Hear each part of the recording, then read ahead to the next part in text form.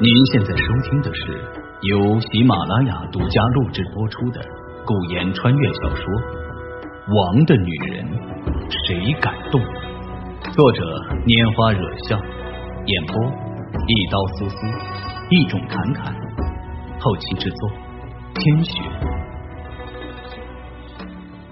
第四百六十一集，自己的生死。似乎已经完全掌握在别人的手里了。难得的是，凤九竟然还能够面不改色，甚至连眉宇都不曾动一下，如此沉稳冷静，是对自己的医术太过于有自信，还是说已经将生死置之度外？蒙面女子的目光落在他脸上，眸色渐渐的深沉。宫女依旧冷声道：“滚！”还真是一个多余的字儿都不愿意说，这么霸气，这么有性格，简直让凤九喜欢的不行。不过摆在眼前就有这么一道难题：如果蒙面女子拒绝自己的医治，启文帝还是会杀掉她。果然，每次进宫都没什么好事，不是生命受到威胁，就是被威胁生命。嗯，好像都是一个意思。娘娘，凤九原本想有点礼貌，好歹说一句“请容在下说两句”，想了想，还是觉得算了，太啰嗦，一定会让眼前这三个人嫌弃。他直接道：“娘娘宏图大志，为何不再给自己一次机会？”闭嘴！宫女眸色一沉，怒道：“滚！”已经骂了三次滚，被骂的人脸皮都厚了。自然不可能，就真的这样滚了。在下治不好娘娘，便是死路一条。所以娘娘现在哪怕要杀在下，在下也不能就这样滚了。那宫女顿时掌下蓄力，说杀就杀，还真的是一点都不手软。凤九也不过是在赌一把，不过他说的没错，现在就滚，下场也是死路一条。所以。不赌也不成了，只是没想到对方连片刻的时间都不愿意浪费在自己身上，竟然说动手就动手，毫无迟疑。凤九掌下蓄力，既然游说没有半点用处，万不得已也只能出手反抗。不过今日不管是动手还是不动手，也是注定要输得一败涂地。出去之后，启文帝也不会放过凤九和他所认识的一干人等，真是天降横祸。大公公见此也是无能为力了，难得遇到一个神医，没想到就要这样消失，但惹怒了娘娘，连他自己都吃不完兜着走，何必呢？大公公退了两步，算是彻底放弃了。宫女掌中真气凝聚，那一掌眼看就要送出去。凤九掌中也蓄上了真气，随时准备迎接这一掌。忽然间，一把淡然清雅的声音响起：“你不是他的对手，何必自取其辱？”宫女闻言，掌中真气一瞬间散去。没想到这个看起来斯斯文文的少年。竟然还是个高手。其实凤九看不出来两个宫女的武功修为，那宫女也是一样的。白衣少年的内息平稳柔和，一点都不像是练武之人，却恰恰是这般，反倒是个真正的高手。若是真的一点武功都没有的话，大概也不敢在他们面前如此的平静淡然。此时的凤九已经不是曾经那个凤九儿能比拟的。不管是身手还是内功修为，都完全不在一个等级之上。宫女的内力收了去，凤九自然也能够让掌中的真气散去。再看那位蒙面娘娘，凤九心头涌起一丝好奇，不过很好的被自己淡然的眼神给掩盖过去了。这位蒙面女子是绝对的高人，与他们又非是一个等级了。现在不打架了，凤九便立即抓紧时间劝道：“娘娘，既然是断定了腿疾不能医治，为何不给在下一个机会尝试一下？哪怕好。蒙面娘娘颔首道：“好。”大公公懵了，两位宫女懵了，就连凤九也懵了。这算是答应了吗？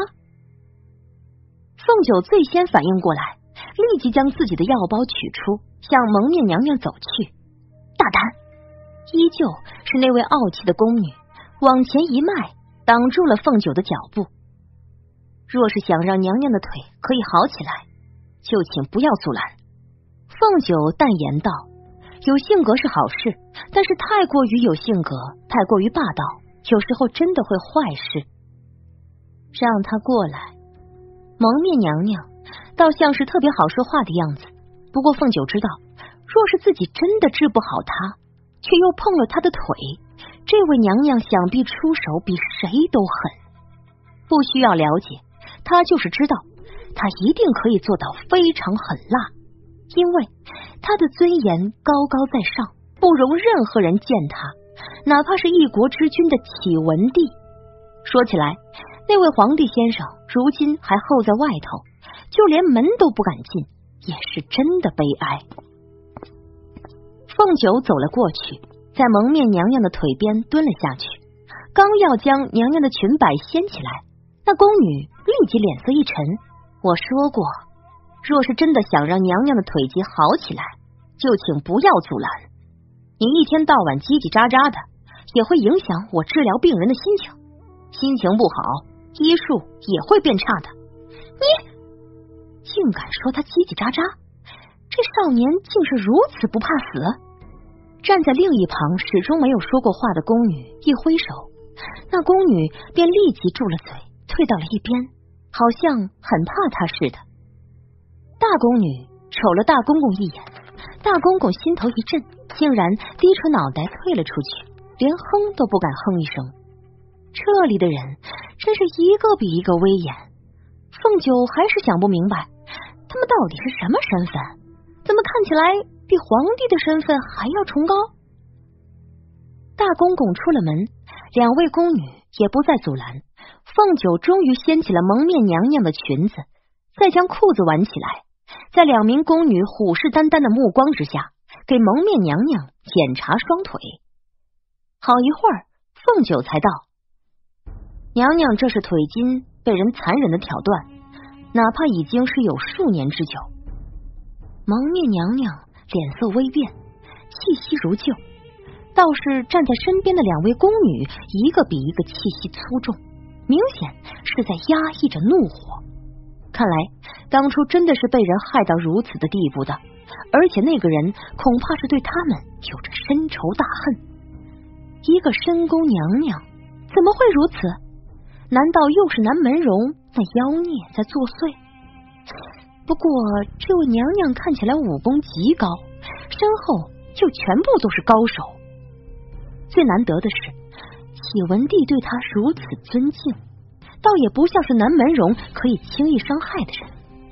到底是谁毁了他的双腿，以至于他身边的人都怨恨至此？你若是真的有心。要给我治病，那就收敛好你的花花肠子，好好治，否则我第一个不放过你。蒙面娘娘垂眸盯着蹲在自己腿边的凤九，眼眸微微眯起。我的手段，你一定不想尝试。本集播讲完毕。请您继续收听下一集。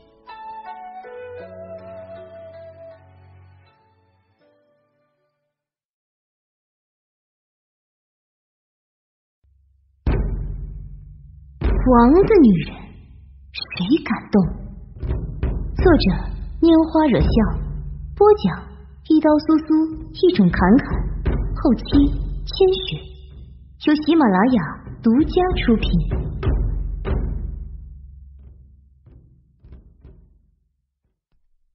第四百六十二集，好奇心每个人都会有。我若说我一点都不好奇娘娘你的身份，说了娘娘也不会相信。既然这样，何必欺骗？凤九终于是收敛好心思，专心的看着蒙面娘娘的腿，脚筋被挑断，还是以极其残忍的方式。当初一定是被连皮带肉一起伤了，皮肉被挖出了一大块。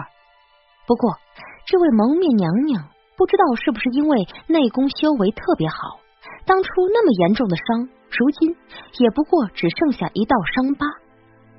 伤疤很丑陋，大概是主人自己也不在意，所以只要伤好了便好。至于伤疤什么的，根本不在意。不过皮肉伤是好了，内力的筋却断了。脚筋断了那么久，现在才要说医治，很难。我只有三成的把握。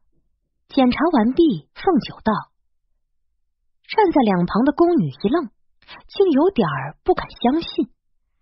那位稍微年轻点的宫女脸色一沉，又开始想要发飙了：‘休要信口开河！’你们激动，那是因为任何大夫一看都会立即摇头说治不了。两名宫女眼底掠过了一抹黯然，至少凤九这话是说对了。所有的大夫都看过了之后，第一句便是恕我无能为力。所以白衣少年这三成对他们来说绝不是什么失望，而是从未有过的希望。不过大家还是觉得不太保险。毕竟现在说什么，全凭白衣少年一张嘴。我怎么知道你是不是为了保命随便乱说的话？年少的宫女蹙眉问道：“我若是为了保命，就该跟你们说有五成的把握。”凤九放下蒙面娘娘的裤子，又将外头的裙摆放下，这才站了起来，看着蒙面娘娘，一脸虔诚。我所有的亲朋好友都在皇城，娘娘不必担心我会跑掉。但有些药我必须要亲自回去准备，方才能给娘娘治疗。不成！年少的宫女不悦道：“从现在开始，你必须住在这里。需要什么药，我们会让人给你送过来。你要什么都可以。”不成！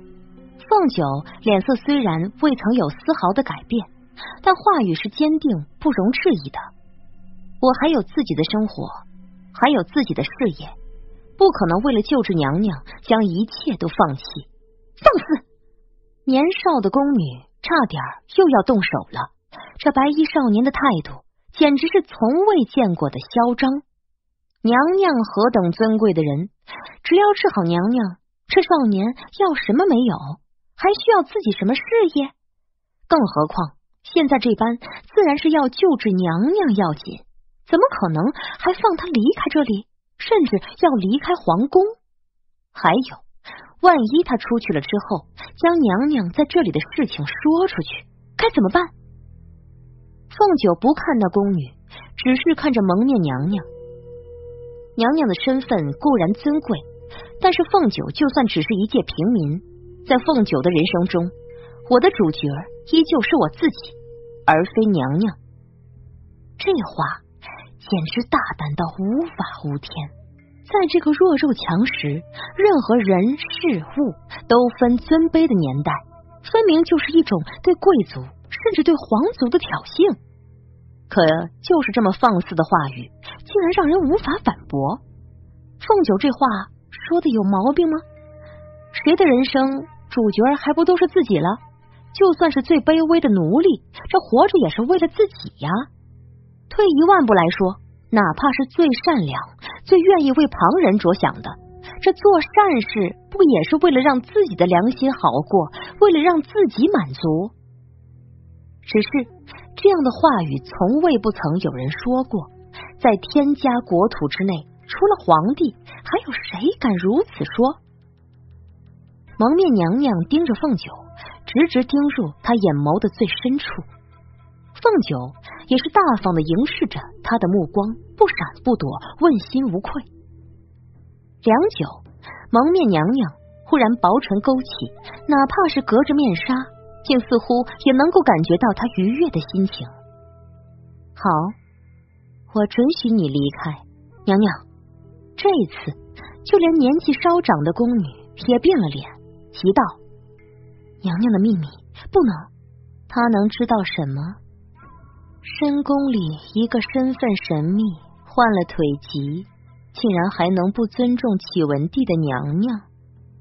蒙面娘娘摆了摆手，靠在椅背上，浅笑：“我的人生也不该全部都是躲避和不安，不是吗？”谢娘娘恩典。不等两名宫女说出什么，凤九已经冲蒙面娘娘倾了倾身，认真道：“娘娘的腿疾，我一定会时刻放在心上。只要需要的东西准备妥当，就会立即前来给娘娘治疗。去吧，娘娘。”两名宫女依旧想要劝阻，蒙面娘娘却没有心思再说什么，随手拿起了一本书籍，翻阅了起来。看得如此全神贯注，房间里顿时就安静了下来。两名宫女连呼吸都不敢用力了，生怕妨碍了她看书似的。凤九有注意到，蒙面娘娘看的是兵书，她竟然看兵书。这位娘娘真的很神秘，也很神奇。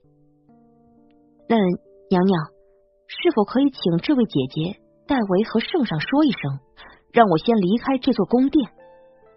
临走前，凤九道：“年长的宫女哼了哼，几分不屑。她不如那位年少的宫女那般浮躁，但是对于凤九要离开这件事情，那是万分不愿意的。娘娘在这里这么多年，凤九是第一个进来而没有被灭口的外人。当然，灭口这种事情根本不需要他们来做。”全部都是启文帝自己命人给完成了。就算他们没有有意放过启文帝，也不会放过任何一个来过的外人。现在凤九尚未治愈娘娘，就想着离开，竟然还想借由他来保证自己可以安全离开，这简直就是一个笑话。可是半炷香之后，凤九确确实实从那个类似冷宫的地方离开了。而且确实也是那位年长的宫女亲自让启文帝放人的。蒙面娘娘的命令，大宫女不敢不从。至于启文帝那边，虽然也是很犹豫，不过再放了狠话，只要有任何别的人知道这件事情，他就一定会让人将天机堂铲平。之后，还是放人走了。凤九在大公公的带领之下。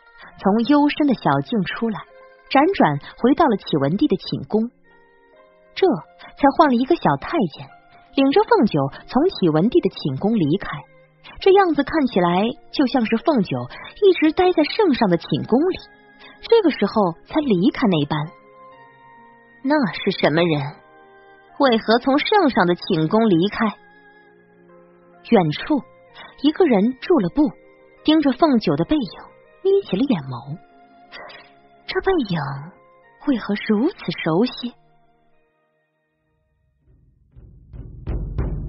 本集播讲完毕，再见。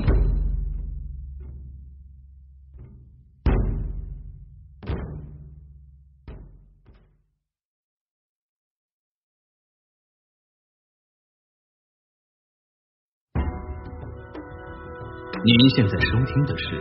由喜马拉雅独家录制播出的古言穿越小说《王的女人谁敢动》，作者拈花惹笑，演播一刀苏苏，一种侃侃，后期制作千雪。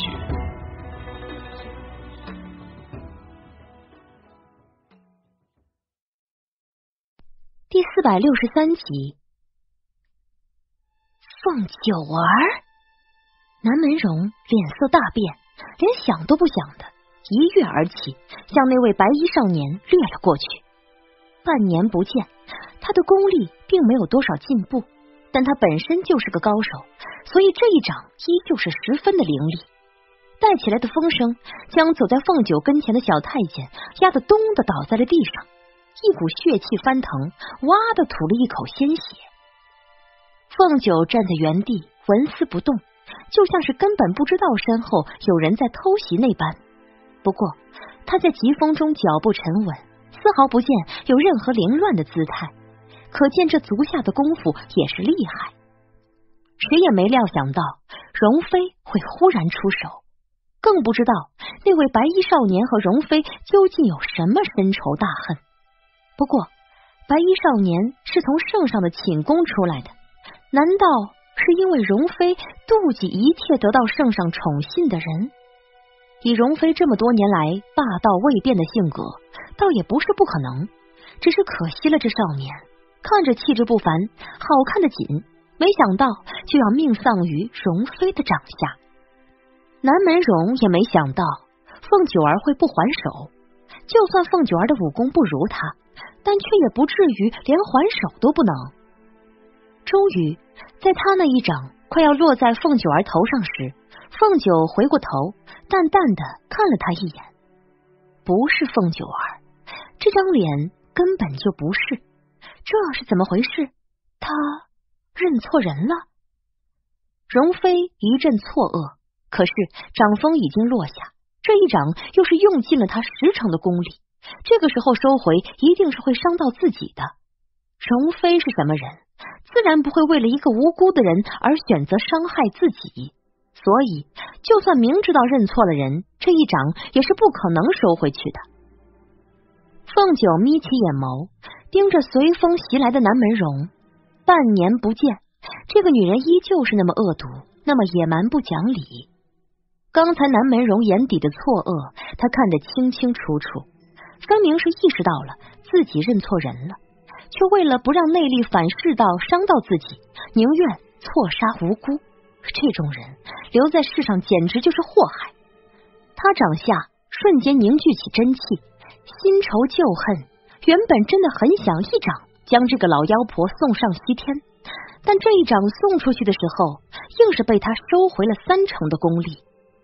这个时候杀了南门荣，整个天机堂都要跟着遭殃。可南门荣当初害死他娘，这个仇他不可不报。轰的一声巨响，两人的掌力撞击在了一起，周围的气息瞬间凝结，却又在凝结之后，像是刹那间炸响了起来。噗的一声，南门荣吐了一口鲜血，身形在半空微微一顿，之后如箭一般被弹飞了出去。没多久，啪的一声，重重跌落在地上。来人，有刺客，有刺客！老嬷嬷一阵的呼唤，十几名侍卫立即涌了过来，将凤九围在战圈中。可这会儿，谁也不敢先动手。娘娘还没有开口说什么呢，更何况这白衣少年刚才是从圣上的寝宫出来的，看样子是圣上宣入宫的人。至于容妃娘娘，刚才是容妃娘娘莫名其妙先动的手，这会儿也不知道究竟要不要将白衣少年给扣押起来。可就连容妃在他的手底下也过不了一招，就凭他们，真的可以将他拿下？娘娘，宫女和老嬷嬷慌忙赶了过去，想要将她扶起来。可容妃根本站不起来，此时此刻气血翻涌，根本就不能被人搀扶。宫女扶了一把，南门荣只是觉得胸臆间的血气翻腾的更加厉害，哇的一声，又是一口鲜血吐出。那宫女看得一阵心慌，手一松。咚的一声，南门荣再一次跌倒在地上。于是他嘴一张，另一口鲜血又涌了出来，场面猩红一片，实在是让人不忍直视。嬷嬷气得恨不能将这个宫女给砍了。来人，把她拖出去，乱棍打死！立即有两名侍卫赶来，拖着哀嚎求饶的宫女拖到远处去了。那位领着凤九出门的小太监已经爬了起来，好不容易理顺了气息，这才想起来刚才自己都看到了什么。他竟然看到凤九先生一掌将容妃娘娘打倒在地上，还打得吐了血，这还了得？要是南门一族的人追究起来，那自己岂不是也要像刚才那位宫女一样被乱棍打死？杀！给本宫杀！了这贱民！南门荣好不容易才能开口说上半句话，可这一开口便是要人命的话语。虽然这话是断断续续的，但是容妃娘娘的话大概还是不敢不从吧。侍卫们刷刷刷的将长剑拔出，剑尖都对准了凤九。住手！忽然，一个小太监尖锐的声音响起，众人回头，竟看到一队人马正在往这边走来。再看清楚点儿，便看清楚了，是清贵妃。凤清音的出现，伴随的总是一种辉煌的感觉。宫女、太监、侍卫，一个都不能少。他好像特别喜欢这种万千光耀集于一身的出场方式。依旧是踩在小太监的背上，从玉辇上下来，走到哪里都是宫女侍卫成群，就连在皇宫中也是一样。可见他在后宫的地位有多高。这不是容妃吗？坐在地上做什么？这是要给本宫行大礼。看到容妃坐在地上，凤清音眼唇一笑。一副大方优雅的态度，免礼了，起来吧。南门荣气得几乎又要吐血，谁要给这个贱女人行礼来着？要他南门荣给他行礼，他算老几呀？当年自己当皇后的时候，他凤清音还一直跟在他的屁股后边，天天巴望着给他擦鞋呢。现在不过是伺候了那个窝囊皇帝几天。竟然就以为可以爬到他的头顶上了！扶本宫起来！南门荣咬着牙，努力的将自己翻腾的气息给压下去。几个宫女、老嬷嬷立即过去，小心翼翼的想要将他扶起来。不料凤清音脸色一沉，身边的宫女已经不悦道：“放肆！见到贵妃娘娘还不行礼！”这宫女说话的对象只是南门荣身边的人，可刚才南门荣已经说了，要这些人将自己扶起来。现在要他们给凤清音行礼的话，他们哪里还能扶南门荣？该死，区区一个低贱的宫女，竟然也敢在他面前放肆！南门荣气得心血一阵翻腾，咬牙道：“来人！”把这个贱婢拖下去，乱棍打死！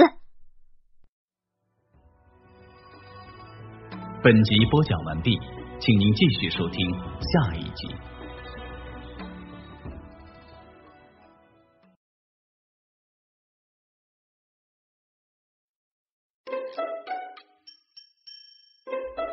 喂喂，王的女人，谁敢动？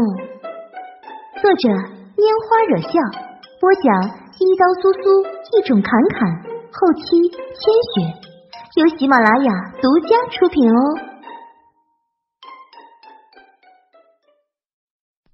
第四百六十四集，参见容妃娘娘。不得不说，凤青音身边的宫女还真是嚣张。面对曾经在后宫呼风唤雨、只手遮天的南门荣。竟然不慌不忙，他甚至浅笑问道：“不知道奴婢犯了什么错，值得容妃娘娘要将奴婢治死罪？”这话让南门荣身边的宫女嬷嬷们一个个气得红了脸，却又无可奈何。现在问题是，到底要不要给清贵妃行礼呢？容妃摆明了不给清贵妃面子。自己身为容妃的人，要是给清贵妃行了礼，恐怕以后不会有什么好日子过。按照容妃的脾气和残忍的手段，谁给清贵妃行礼，没准立即会被处死。但眼前这位后宫新晋一把手清贵妃，似乎也不是什么好说话的人。这处死什么的，恐怕也是随时有可能的事情。双方僵持不下。那边围着凤九的侍卫，现在也不知不觉间都散开了。多一事不如少一事。凤九看了小太监一眼，小太监只是低垂脑袋不说话。当然了，这种时候一个字儿都不敢多说。凤九转身往宫门的方向走去，他是跟随大公公进宫的，就当是自己记性好，还记得出宫的路。反正他确实记得。这两个女人狗咬狗的，他看着也没什么意思，让他们自己咬个够吧。要是等他们咬完了，自己还在这里的话，没准儿一会儿又来咬他了。疯女人是没有理智可言的，有时候真的和疯狗没什么区别。小太监见自己要送的人正在离开，他犹豫了下，也慌忙冲两位娘娘躬了躬身，便赶紧追上凤九的脚步。是大公公让他将人送出去的，他现在也不过是在执行任务，并无犯错。凤九也没想到自己真的可以这么顺利走出皇宫。看样子，凤青音和南门荣的新仇旧恨多的数不清，这会儿也没工夫理会他了。公公，就送到这里吧，有劳了。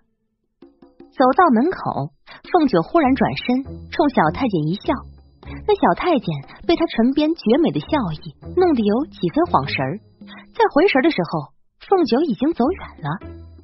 这白衣少年简直是男女通杀。有点阴柔的美，又有点阳刚的气息，总之怎么看都好看。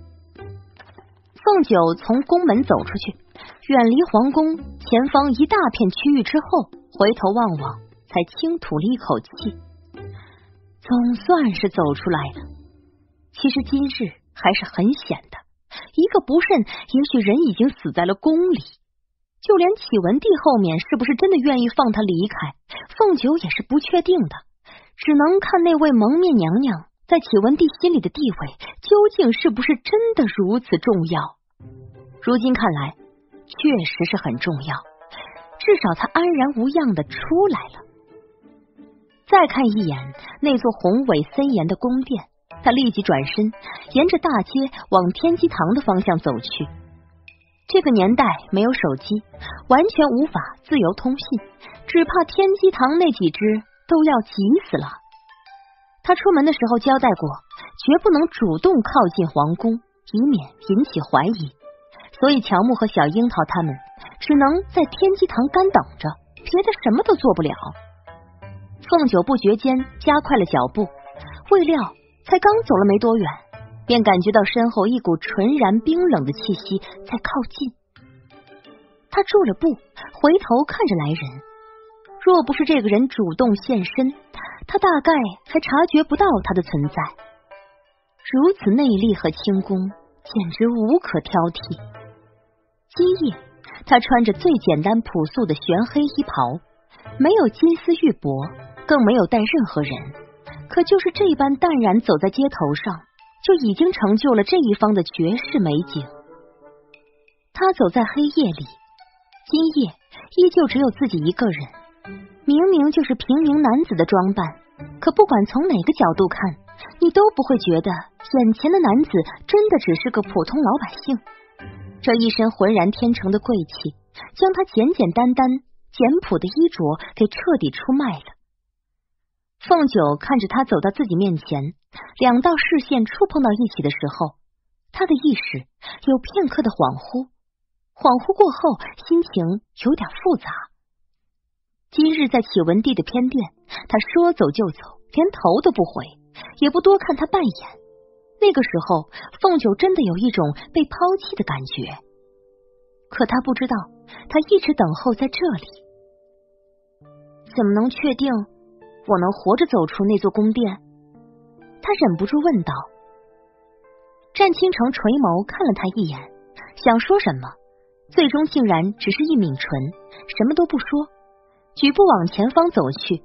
这是要亲自送他回天机堂的意思？凤九实在是看不透九皇叔的心思，九皇叔到底是认出了他，还是依旧没有认出来呢？他跟了上去，忽然就来劲了。王爷，你看起来好像很闲的样子。对方依旧不说话，这么冷傲，却又偏偏要在这里等他。哎呀，和这种闷葫芦相处，真的是很容易憋死自己呀。凤九抬头看了他一眼，虽然自己穿着内增高，如今目测至少有一米七几的高度，可是要和九皇叔说话，依旧得要仰望。他真的很高，高高在上，却又那么孤单。王爷用过晚膳了吗？未曾。凤九心头微动，有点心疼了。何时等在外头的？出门之后。他的声音如同他的脸，没有一丝情绪的起伏，毫无波澜到一如死寂的冰山。他其实是有点感动的，谁能不感动呢？只是这会儿可不是乱发情的好时机。那我带你去吃好吃的吧。凤九忽然提议道。战倾城眉心轻蹙，似乎有点不乐意。他昨夜说了，今日继续给他做好吃的。凤九不知道他在想什么，以为他生来尊贵，不愿意吃外头那些平民百姓吃的东西。他笑道：“呵呵，我带你去吃大排骨面，保证好吃。走吧。”心情有点太放松，一不小心就像从前那样牵起了九皇叔的手，往他熟悉的店面走去了。凤九没有注意到。战倾城却一直盯着那两只牵在一起的手，他的粗粝宽大，他的纤细弱小，如此牵着，就像是彼此找到了生命的另一半那般，犹若天注定。看了片刻，他终于收拢起五指，将他的小手反握在掌中，不理会街上那些投过来的异样的目光，走在他雀跃的身影旁。心满意足。本集播讲完毕，再见。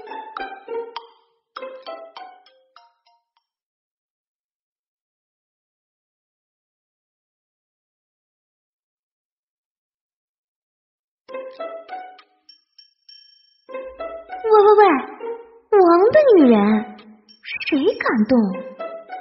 作者：拈花惹笑，播讲。一刀苏苏，一种侃侃，后期千雪，由喜马拉雅独家出品哦。第四百六十五集，一家面馆不算是街边的小拍档，也不算是什么高级的茶楼，总之就是真的只是一家小面馆客人三三两两，桌子之间的距离有点窄小。尤其是九皇叔，这身形实在是太过于高大，坐在小桌子旁，简直就像是坐在了孩童玩耍的桌椅上一般。九九爷，你可别介意啊！虽然面馆的环境一般，但是这绝对是我在皇城吃过的最好吃的面。凤九冲他一笑，小心翼翼的安抚着，生怕这尊大神忽然会不高兴，一挥衣袖就要走了。战倾城看着他，倒也没说什么，只是很不喜欢身边偶尔有人走过的感觉。有些人走过的时候，一不小心就会碰到他，立即会让他浑身的寒气顿起，实在是不喜欢被人碰到。凤九当然知道，九皇叔最讨厌身体是和别人有任何接触。现在能够坐在这里，没有立即离开，已经是很出乎他的预料了。带他来的时候，还真的是没想起来这一点，就只是想着这里的面真的很好吃，所有好吃的东西都想和九皇叔一起分享而已。现在是后悔了，但是面已经叫上了，那个忍耐一下好吗？九爷，要不我和你换个位置，这里靠内，应该不会被碰到。凤九站了起来，就想跟他换个位置。战倾城却纹丝不动，淡淡的瞅了他一眼。你过来，难道就不会被人碰到？我不在乎啊。其实也没有碰到，只是人在背后走过，偶尔可能会衣服稍稍的碰到衣服而已。他是不在乎的，可九皇叔肯定是在意的。九皇叔有点洁癖，要换了平时是绝对不会允许有人侵犯到他自己定义的安全范围内的。至于那个安全范围，当然至少要在五步呃甚至十步之外。现在这个距离，有时候连一步都不到，他的九皇叔怎么可能受得了呢？没有当场一脚将人给踹飞了出去，已经是非常了不起了。不过来这里的都是普通老百姓，不会武功的。这要是真的被九皇叔踹一脚，哼，不死也得重伤。九爷，你来我这里坐下。战倾城瞅了他一眼，目光有点严肃。九凤九一愣，被他冷飕飕的目光一扫，立即二话不说坐了下来。再看他身后小心翼翼走过的那个小伙子，心情有点复杂。九皇叔浑身寒气，人家从他身边经过也是能感受到的，可他竟然还不愿意和他换位置。嗯，是怕他坐在那里会被人碰到吗？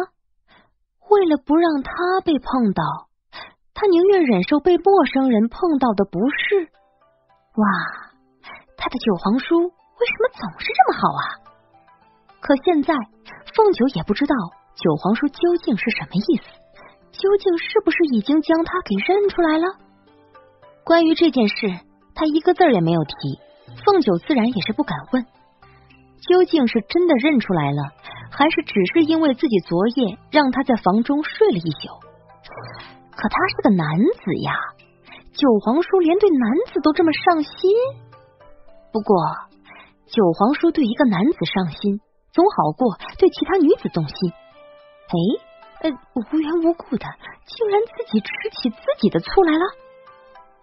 很快，热腾腾的大排骨面上来了，还有一份明炉红烧大排，火焰在炉子里燃烧着，上头的大排骨还冒着蒸腾的水汽。凤九给战倾城夹下来一大块肉，放在他备用的空碗里。九九皇叔这三个字差点脱口而出。把他自己几乎都给吓坏了。No no no no no，不能这么放松，一定要谨慎，要不然真的会露馅儿的。他道：“九爷，尝尝这里的大排骨肉，很出名的。卖相自然是没有九王府厨子做的好看，但是真的很好吃，尝过就知道了。”战倾城盯着碗里那块大排骨肉。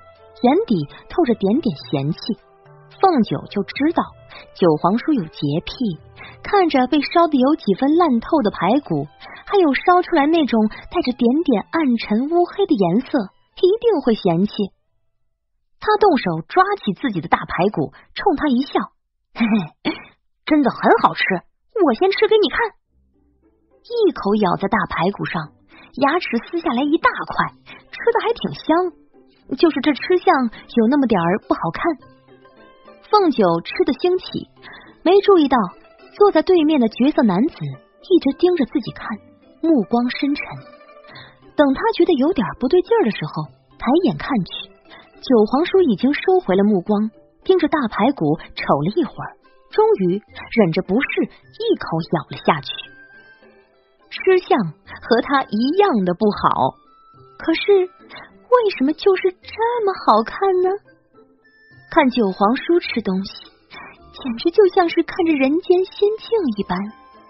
凤九很快就发现，不仅仅自己看呆了，就连周围的姑娘们都看吃了，一个个看着九皇叔吃肉，看得两眼发直，眼里仿佛长着一棵桃树，桃树上开满了桃花。凤九的目光又回到九皇叔的身上，他的两片唇瓣比桃花花瓣还要粉嫩，比果冻还要鲜美，看着很好吃的样子。吃肉的时候，唇瓣上一不小心沾上了点点油渍，不仅不损坏它的绝美，反倒给他添了一抹无辜的孩子气，勾得每一个看着他的姑娘母爱大发。恨不得冲过去，亲自给他将唇瓣上的油渍给擦干净。不，好想帮他舔干净。凤九喉间一紧，被自己放肆的邪恶的念头给吓坏了，慌忙收回目光，连看都不敢再看他一眼。怎么会想着给九皇叔将唇瓣的油渍给舔干净？啊太过分了！怎么可以意淫九皇叔？啊，他都在想什么？怎么会老想着将九皇叔的唇瓣吃进自己的肚子里？啊，他真的真的太放荡了！战倾城眯起眼眸，盯着他忽然变得红扑扑的小脸。啊，没，嗯，没有，嗯，有有点那个，我我我不知道。凤九呼吸很乱，唇干舌燥的，一把端起桌上的杯子，将茶水狠狠的灌进肚子里。九皇叔简直就是行走的春药，看一眼就让姑娘们浑身发热，恨不得扑倒他，压上他，蹂躏他，吞了他。这次是真的被呛到了，被茶水呛得猛烈咳嗽起来。凳子忽然被人一把拉了过去，凤九还没有回神儿，便已经连人带凳子一起被拉到他的身边。战倾城的大掌落在他的背上，轻轻拍了起来。那温柔的模样，让周围的姑娘顿时一阵心碎。这么温柔。这这是基友的意思吗？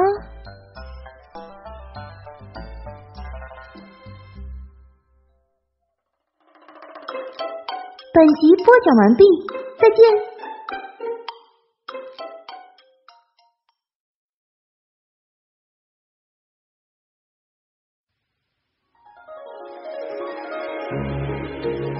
现在正在收听的是。由喜马拉雅独家录制播出的《王的女人谁敢动》，作者拈花惹笑，演播一刀苏苏，一种侃侃，后期制作千雪。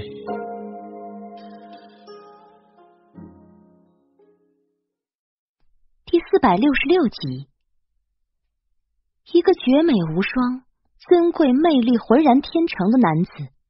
一个白皙漂亮、风度翩翩的少年，两个人在人群中都那么抢眼，随便一个都足够让姑娘们疯狂爱慕的男人，竟然坐在一起如此亲密，怎么忍？能忍吗？怪不得姑娘们总是找不到俊美的如意郎君，却是因为这些如意郎君自己都已经配成对儿了，太过分了，真的太过分了！就不能将他们拆开，配给姑娘们吗？如此断袖，简直是暴殄天物。好想将他们分开，一个一个抱回家。嗯，凤九一张脸因为九皇叔的靠近，愈发的红润有光泽。缓过来了一口气，他立即往身侧一躲，慌忙道：“呃，好，已经好了，九爷，没事了。”凳子也往原来的位置拉了拉，离他稍微远了些，生怕两个人太过于亲密会引起误会。一顿晚饭吃的有点心惊胆战的，因为九皇叔时不时的看他两眼，弄得凤九一张脸红扑扑的，脸色就没有正常过。好在后来九皇叔似乎发现了东西也挺好吃的。总算是放过了他一张脸，对大排骨面专注了起来。凤九这也才有空可以好好的吃一顿。饭毕，两个绝色男子走出面馆，走过大街，走进了巷子，不料却被一群大汉给堵在了巷子里头。劫色啊！虽然对于两个男子来说，这个念头有点怪异了些。但是有九皇叔在呀，九皇叔这姿色绝对是男女通杀的，万一碰到的就是喜欢美男子的壮汉呢？也不知道凤九的脑袋是不是真的这么乌鸦，竟然想什么来什么。为首的大汉盯着战倾城的脸，哈喇子都要流下来了。这小兄弟很是美呆啊！过来，陪大哥去喝两杯如何？凤九找不到词儿来形容自己这一刻的心情。这些人连九皇叔都敢调戏，不想活了吗？战倾城面无表情，但杀气已经在无形之中凝聚了起来。大汉身后的男人却盯上了凤九这张精致好看的小脸。虽然另一个长得真的、真的、真的是很好看，可是这么高大的身形，他觉得自己实在是驾驭不来。他更喜欢这个小巧玲珑的小家伙，也带你去玩玩好不好？嗯。不怕死的几个家伙大步向凤九走去。如果九王爷刚才只是眼底透着一丝杀气，那么这一刻他是浑身上下全部都是杀气腾腾，甚至一副要撕人的模样。右手一瞬间握紧，要命的掌力就要送出去。忽然，一只小手握住了他的大掌，轻轻捏了捏。你是九爷，所以。这一身绝世武功就不要随便显露了，轻易会暴露自己的身份，引起更多人的注意。这次九皇叔回皇城，恐怕想要除掉他的人比从前更多，而他又孤身一人出门。虽说九皇叔的武功绝世无双，但是明枪易挡，暗箭难防，还是不能太随意的。更何况。若是让有心人知道了他和九王爷私下里在一起，他的麻烦也会随即而来，会多得让人应接不暇。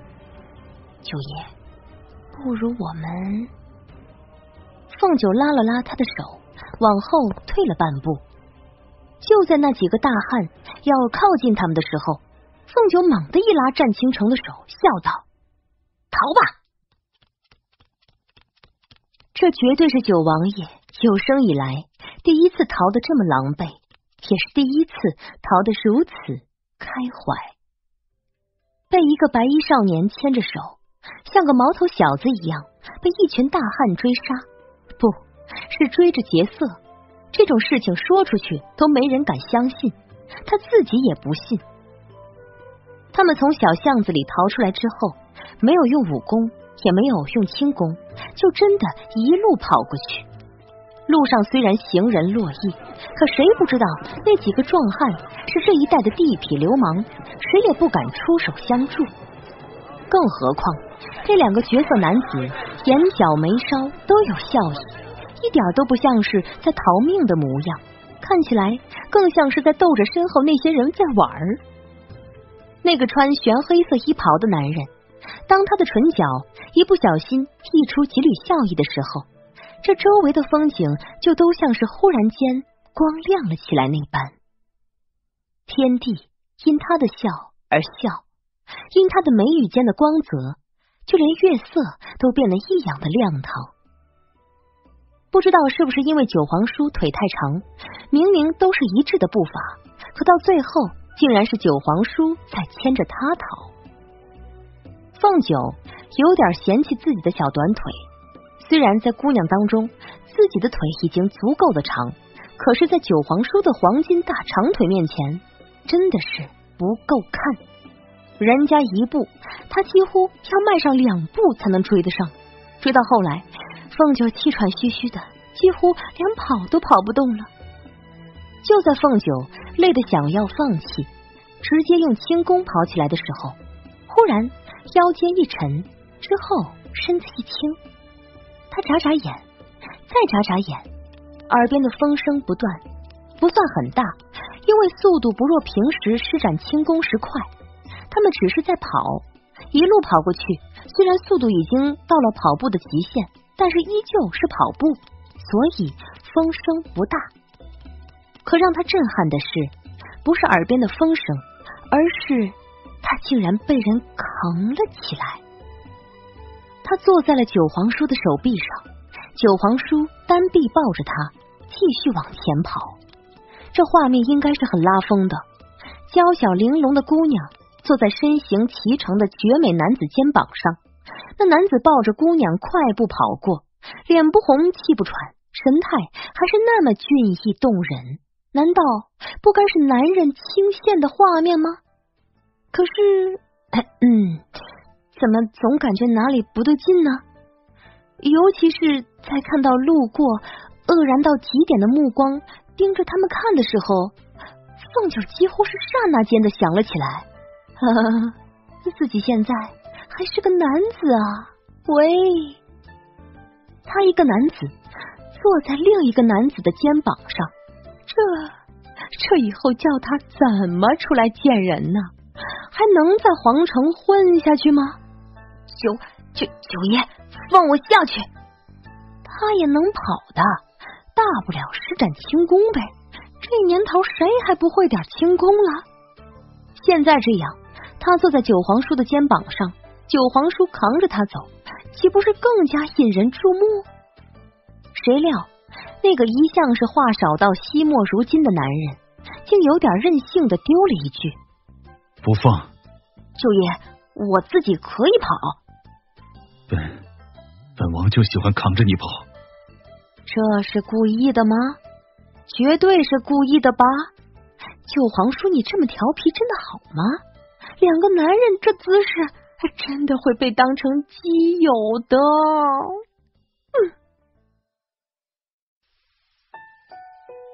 本集播讲完毕，请您继续收听下一集。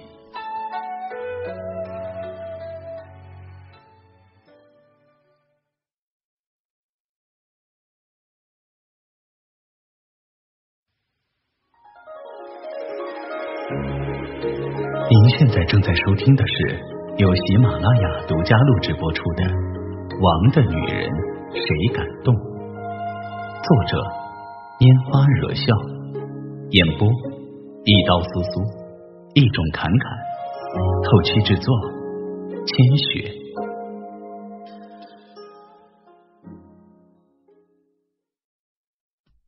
第四百六十七集，这应该是凤九认识九皇叔以来第一次看到他这么接地气的一面，因为不用轻功。他抱着他，纯粹用体力在跑，从大街一路跑过去，拐过了几条街，到达天机堂后门的时候，脸上、额上已经是满满的都是汗。等等一下，九爷，你这是要去哪里啊？这家伙竟然扛着他就想走进天机堂，不知道天机堂里有无数的人认识他吗？战倾城住了步，瞅了他一眼。这才手臂一松，将他放在地上。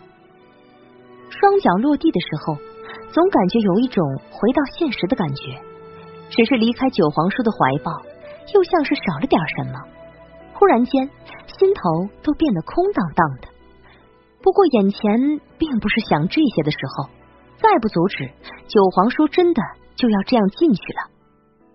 九爷，你不能就这样进去，你。他蹙眉的样子，实在是让人难以继续拒绝下去。凤九早就知道，只要九皇叔一皱眉，全天下所有的女人都会为他心疼；只要九皇叔一难过，所有的姑娘都会跟着心碎。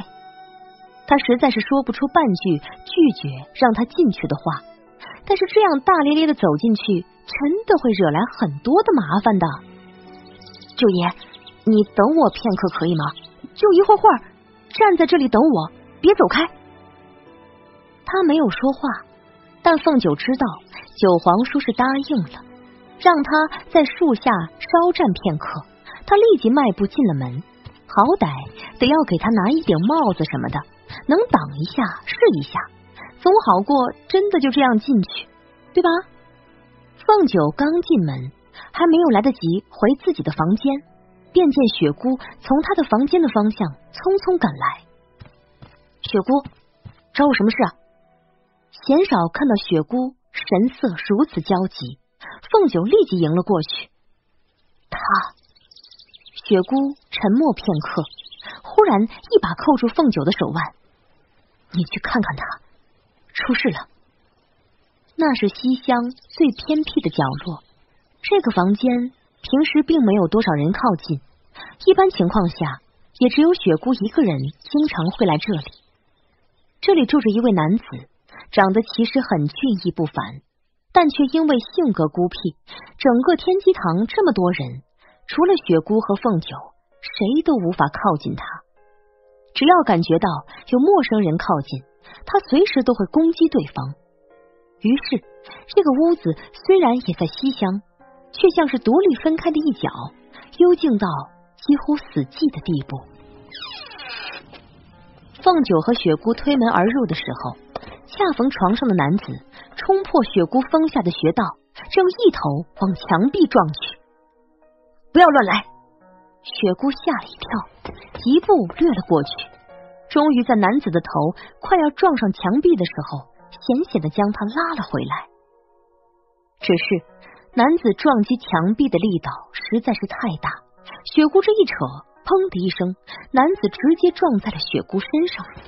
他张了张嘴，忽然哇的一声，一口鲜血猛地涌出，就连雪姑也觉得胸臆间气血翻腾，被撞的差点吐血。这男子的撞墙的力道有多大，可想而知。这样的力道根本就是不想活了，九儿，你快给他施针压制一下蛊毒。雪姑急道。凤九早看着雪姑去拉男子的时候，就已经将随身携带的针包取出，在男子第二次想要发狂之前，他快步走了过去，银针在男子的颈窝上扎了下去。言，你答应过不会放弃，你忘了吗？说话间，第二、第三枚针也已经落下，深深的扎入盐的穴道中。盐一双眼眸猩红如火，身上的青筋一阵一阵的暴露，已经痛苦到了极点。往常他都是月圆之夜才会发作，所以今夜凤九也没有在意，毕竟离月圆之夜还有好几天。没想到他竟然提前发作。难道蛊毒又生了变化了？听话，不要放弃，忍一忍就过去了，一定可以熬过去的。凤九的指尖在头顶上落下，在银针落下的周围用力按压了起来，帮助他将多余的真气汇聚在了头顶，经由他的推拿渐渐的散去。他的声音对颜来说，也像是有种特别安抚的力量。他那双星眸的眼眸睁得大大的，手抬了起来。别慌，我说过会治好你，就一定会治好。不要慌。凤九握了握他的手，原本只是想给他点安慰，不想他握住了他的手之后，就像是溺了水的人抓住了最后一根浮木一般，再也不愿意放开了。凤九无奈，只能一边握着他，一边以右手给他推拿。目前这种情况，每次蛊毒发作，他虽然可以给他施针，但是施针对于压制蛊毒的效果，并没有那么神速，需要时间。这段时间里，就得要靠盐自己努力熬过去。凤九只能给他减轻一点痛苦，但大部分的痛苦还是需要他自己来承受。自己来消化，我会治好你的，相信我，我一定可以。凤九的声音就像是带着魔性一样，在严的耳边悠悠响起。他的眼眸已经猩红，但是眼底的绝望终于散去了些。大掌握住那只小手，指尖仍旧是因为痛而不断的在颤抖，但他努力的让自己冷静。至少让自己看起来不要那么狼狈。他相信他，一直都相信，否则也不会撑到现在。不知道过了多久，那只握住他手的大掌渐渐松开了。再看着坐在床上的男子，他双目紧闭，额角、脸上依旧全部都是冷汗。不过这会儿是睡过去了。雪姑松了一口气，立即端来一盆热水。拧上毛巾，给他擦了擦脸上、额上的汗珠。凤九这才将银针收回，两个人扶着他，让他慢慢躺了下去。雪姑给他盖上被子，看着他苍白的脸，心头一阵愧疚。若不是我当初将你的蛊毒转到他身上，他也不至于会落得如此地步。雪姑现在是真的很惭愧，最惭愧的是，他当初的蛊毒转嫁术并没有做好，如今颜身上有变异未知的无情蛊，而凤九儿身上的无情蛊却没有彻底清除。不是你的问题。凤九抬起手，在额角上抹了一把汗。刚才看到颜这么痛苦，他心里也不好受。他如此信任自己，可直到现在，他依旧没有找出彻底解除蛊毒的办法。他只是给他一点活下去的勇气。这个男人以前看着冷心冷情，甚至是残暴不仁。但没想到骨子里竟然还有如此干净纯粹的一面。想当初，又有谁能相信呢？本集播讲完毕，请您继续收听下一集。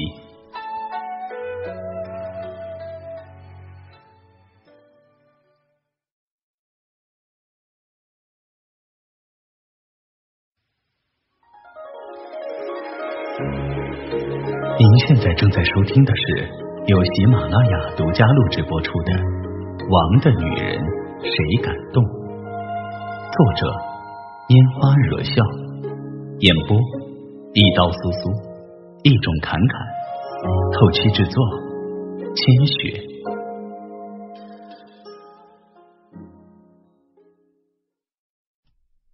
第四百六十八集。见雪姑如此自责，凤九道：“无情蛊原本在我身上，如今他这般也是我连累的，与你有什么关系？”雪姑却摇摇头：“当初进行蛊毒转嫁的时候，你并非清醒。你若清醒，怎会允许我做这种事？”没错。当初将凤九体内无情蛊转移的时候，凤九还受着伤，还在昏迷中。其实那一役伤的何止是凤一男一人，谁也没想到九王爷军队里竟然还有想要凤九儿性命的人。再加上当初拓跋可言想要将凤九儿活捉，下了死令要将凤九儿带回，只要活着，不管伤的多重，重赏之下。必有勇夫，柔和的士兵一个个恨不得将凤九儿钉在长剑上，只要带回去的时候还活着便好。背负受敌，再加上要护着被冷箭伤到的凤一男，那个时候的凤九儿步步艰辛，身上也是伤的不轻。若非雪姑去而复返，凤九儿这条命定也是保不住了。九王爷军队里的杀手一直在追杀凤九儿，拓跋可言也亲自带着人追来。阴差阳错的，雪姑竟将拓跋可言生擒，在胡双带人的掩护下，直接躲进了蝴蝶谷。之后，也是在胡双的帮忙下，在蝴蝶潭将凤九身上的无情蛊转移到了拓跋可言的身上。对于当时的雪姑来说，拓跋可言就是个死有余辜的人。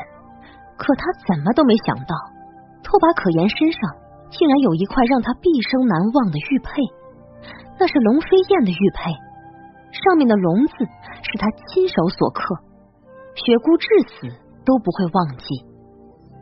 按照龙飞燕的年纪，不可能有拓跋可言这么大的儿子，但若是龙飞燕亲手赠予的玉佩，两个人的关系必定不简单。雪姑再深想拓跋可言出手的招式，才猛地想起来，似乎真的和龙飞燕当年的招式很像。拓跋可言也许是龙飞燕的徒弟，一个该死之人忽然变得如此重要，雪姑的心情完全无法描述。最糟糕的是，无情蛊被转移了之后，留了一部分剧毒在凤九身上，而到了拓跋可言身上的那部分却发生了变故。与初时的无情蛊差异太大，让人完全无法琢磨。另一个伴随而来的症状便是拓跋可言失忆了。他忘了过去所有的事情，忘了自己柔和大王子的身份，也忘了曾经自己母妃被北穆国人残害致死的事情。现在的颜，便是失忆之后的拓跋可言。让凤九和雪姑出乎意料的是，失忆后的拓跋可言竟是如此善良的人。虽然他孤僻，不愿意和任何陌生人相处，但是他对待小动物的时候却特别善良。上次凤九和雪姑带他出门，他为了救一只兔子，自己差点跌入悬崖身亡。谁能想到，当初冷血无情的柔和大王子，竟然也会有这么善良温顺的一面？雪姑说：“那是他骨子里的性子，或许是因为他母妃的事情，才会变成后来那样。这种事情谁能说得清楚？你现在感觉如何？”雪姑看着凤九，心头又是一阵惆怅。他回来了，如今距离月圆之夜也没几日了。或许对于凤九来说，雪姑那一场蛊毒转移术，唯一的好处便是，平时她再怎么思念九皇叔都没事，只有月圆之夜的时候，一想到九皇叔就痛不欲生。但如果不想，就不会有问题。倒是有一事很是凑巧，盐的蛊毒在月圆之夜发作，凤九需要给盐施针压抑痛苦，前半夜。他便没有什么心思去思念九皇叔，每每都是到了后半夜，等盐的蛊毒被压下去，凤九的心思缓了过来，便又不自觉的开始思念。只要一想，痛苦比起从前无情蛊发作的时候要沉重十倍。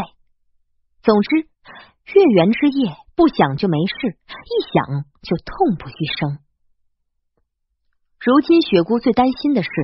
九王爷回皇城了，两个人以后也不知道还会有什么牵连。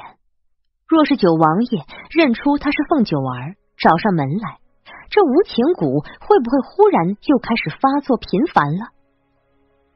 我没事，暂时还没有任何的异样。凤九想了想，忽然间脸色一变，差点忍不住立即夺门而出。糟了！他竟然忘了一件很重要、很重要的事情，九皇叔还在后门那棵树下等着呢。不对，他进门到现在至少已经有一个多时辰，一个多时辰就是两个多小时。九皇叔怎么可能还等在那里？恐怕已经闯进来了，但外头好像没什么动静。这半年。你一直在研究巫蛊之术，可有进展了？雪姑见他脸色不太寻常，一丝讶异，是不是真的想不到办法了？不是，其实已经有眉目了，只是还需要再深入研究一下。凤九没心思跟他说下去，你看着演，我还有些事情要处理，我先走了。什么事情这么焦急？从前的凤九儿一向都是沉稳的，当了凤九之后，性格更加稳重，鲜少看到她有这么焦急的一面。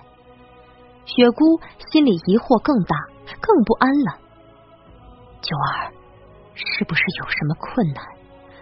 我不是需要你安抚的人，有困难可以直接跟我说，任何结果。我都可以承受，只要他别将所有的事情都闷在自己心里，自己独自承担便好。不是雪姑，真没什么事，只是忽然想起来，我有些新药，我想到了新的研究方式。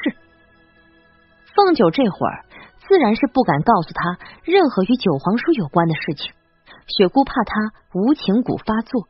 自然是不会让他和九皇叔在一起的。不过话说回来，好像这两日和九皇叔在一起，无情蛊并没有任何动静。这是不是说，除了月圆之夜之外，其他任何的时候，他都不用担心无情蛊会发作了？就算是九皇叔在身边，自己和他亲密也可以。嗯，好端端的，怎么会想到和九皇叔亲密？哎呀！简直是太不要脸了。生怕战倾城真的闯进来，凤九无法再解释什么。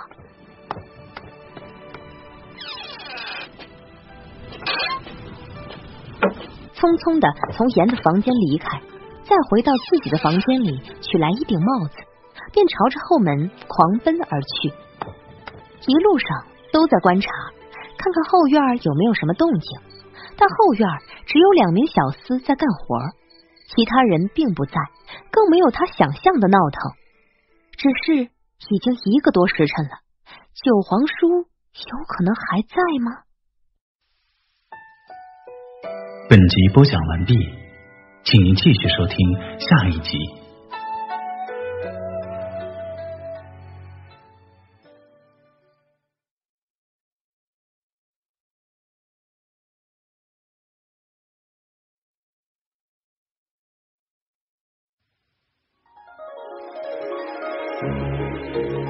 现在正在收听的是由喜马拉雅独家录制播出的《王的女人》。谁敢动？作者：拈花惹笑，演播：一刀苏苏，一种侃侃，后期制作：千雪。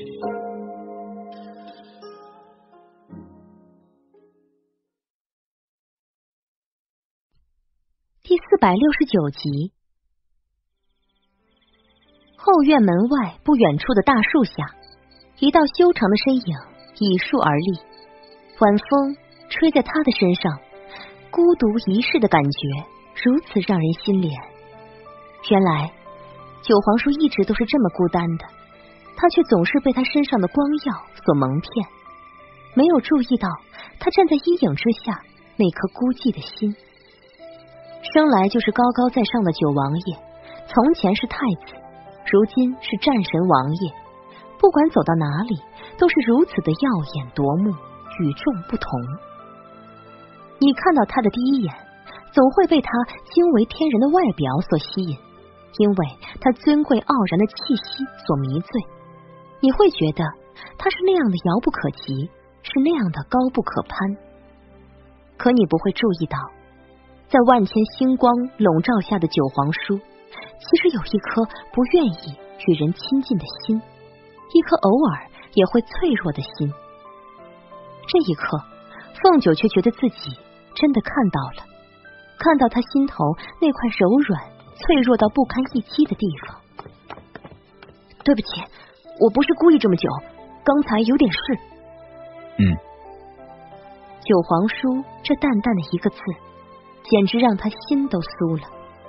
哎，明明见惯了美男子，就自己这个天机堂都有不少，但九皇叔的美色。却真的是无论如何都抵挡不了，以免自己露出更多属于姑娘家的娇羞，凤九将帽子递了过去。战倾城竟然不为所动，只是安静的看着他。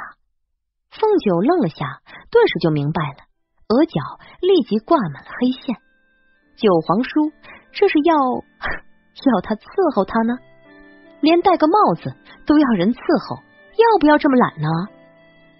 不过，他好像在九皇叔面前已经习惯了奴性，更何况伺候九皇叔其实也不是什么让人不高兴的事情。事实上，可以伺候他，反倒让他有一种隐隐幸福的感觉，只是不敢想的太多太深入。九爷，我不是不让你进去，但是有些事情我必须先和你说清楚。快要进门的时候，凤九住了步，回头看着他。等会儿进去，你尽量少说话，别让人将你认出来，可以吗？虽然知道自己这个要求对于尊贵的九王爷来说很不礼貌，可他现在真的不能让人看到自己和九王爷在一起。先不说会有多大的动静，就是雪姑也会第一个反对。现在还不是和九皇叔相认的好时机，有太多的负担，太大的压力。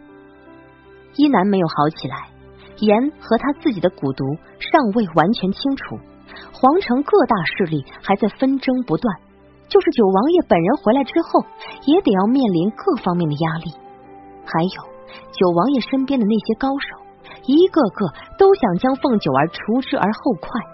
他能护他一时，护不了他一世。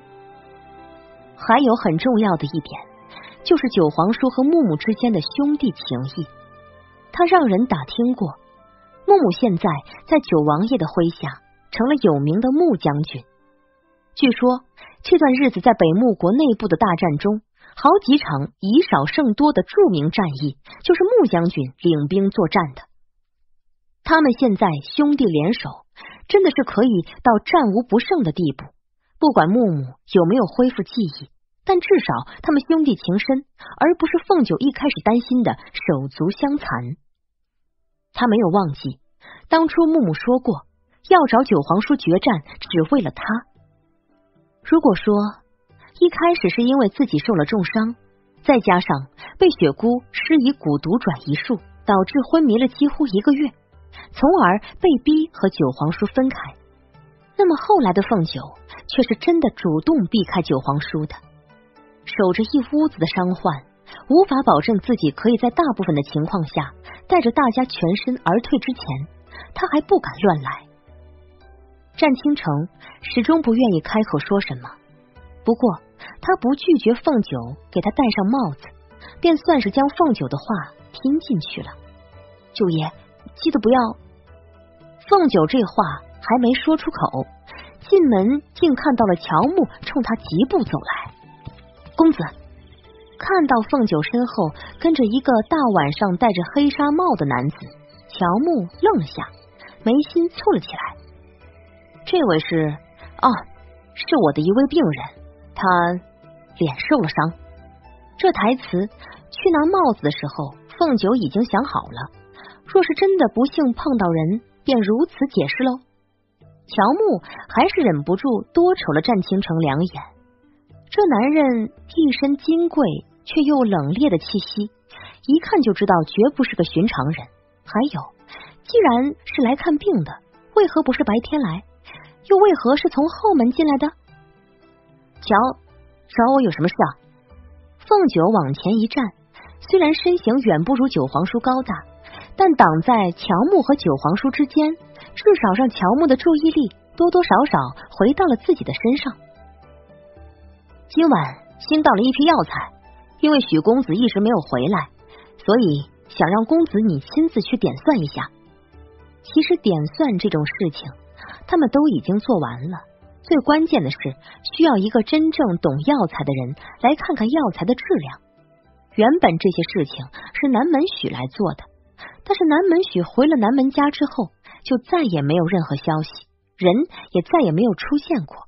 所以这事儿最好还是凤九亲自来做。当然，最重要的一点原因是中午凤九被请走，乔木虽然知道他晚上回来了。但不亲眼来看看，心里总是不踏实。只是公子离开了大半日，晚上竟带回了一个伤了脸的病人。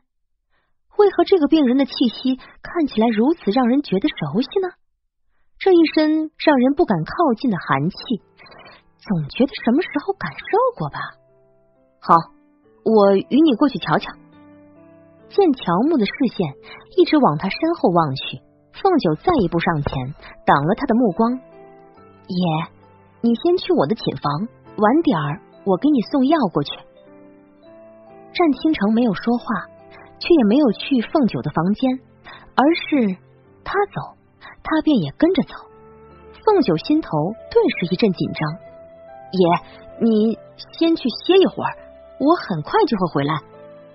他想说话，凤九却忽然想到了什么，立即道。你要是喜欢，那就跟着我好了。不能让九皇叔开口说话呀！他怎么就忘了这一点呢？乔木以前可是九皇叔最忠实的粉丝，只要九皇叔一开口，乔木怎么可能认不出来？可现在九皇叔不愿意自己回房，非得要跟着他，他还要让他自己去房间的话，九皇叔一定会霸道的说不。倒是乔木盯着男子高大的身影，眼底的疑惑更重。公子，这位爷到底是什么人？本集播讲完毕，请您继续收听下一集。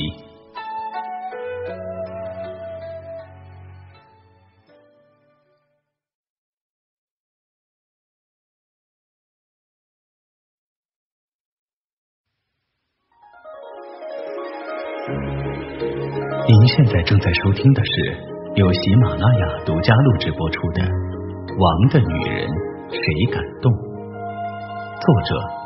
拈花惹笑，演播一刀苏苏，一种侃侃，后期制作千雪。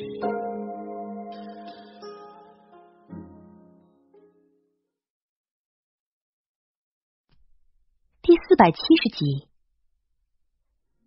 凤九头皮有点发麻，就知道九皇叔不管走到哪里都是那样的耀眼，想不注意都不成。不过。他以前喜欢穿白衣，今夜穿的是玄黑色的衣裳。乔木应该不会第一个就想到是九皇叔才是。他大人物，乔，去看药材吧。凤九冲他打了个眼色，暗示他这个大人物，他们天机堂还惹不起。乔木眼底闪过些什么，最后也只是点点头，看了那道高大的身影一眼。便转身在前方带路。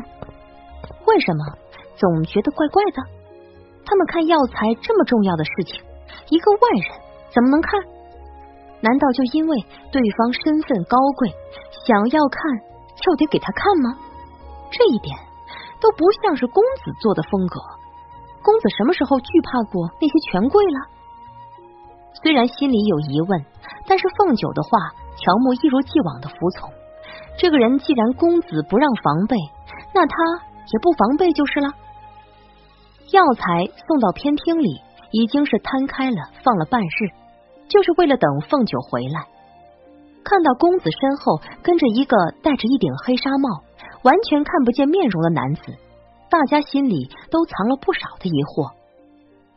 小樱桃当然是最藏不住话的，立即就过来问道：“公子，这位是？”凤九就知道带着九皇叔过来，一定会引起很多人的怀疑。可是九皇叔要跟着，谁能拦得住？要是惹得九皇叔一个不高兴，直接将帽子摘了，后果谁来承担？九皇叔这么任性的脾气，愿意戴着帽子不说话，安静跟在他身后，接受一切的怀疑的目光，已经是很难得的温顺了。这种时候，可是不能再让他不高兴。稍微有点不高兴，随时都会发脾气。哎，这位是我的贵客，做你自己的事情去。小樱桃虽然话多，但是比起乔木倒是好应付的多。不让他问，他也就不问了。虽然对凤九身后的男子依旧是很好奇，可感觉到凤九不许过问的意思之后，就乖乖闭上了嘴了。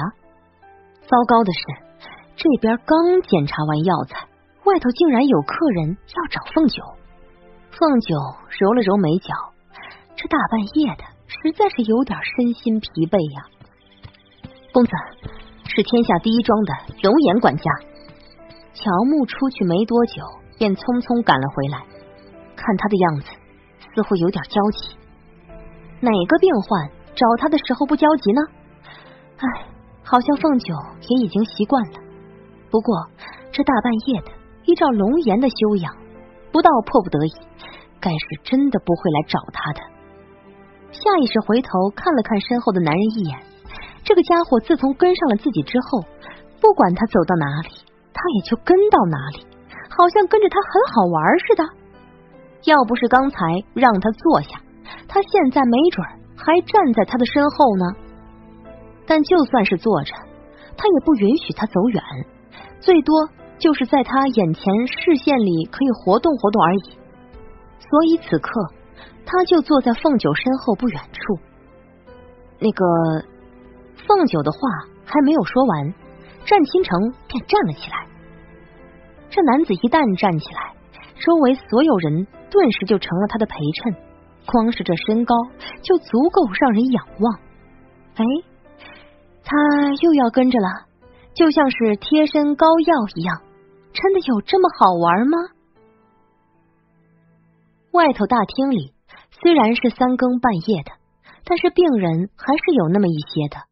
大堂三三两两的病患坐在一起，凤九规划出来的各科室都还有大夫在值班，还有病患在问诊。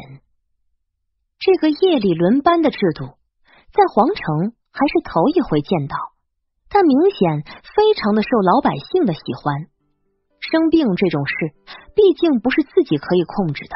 很多病患夜里发热，急需问诊，但一般的大夫都已经休息了，根本就没有大夫值班。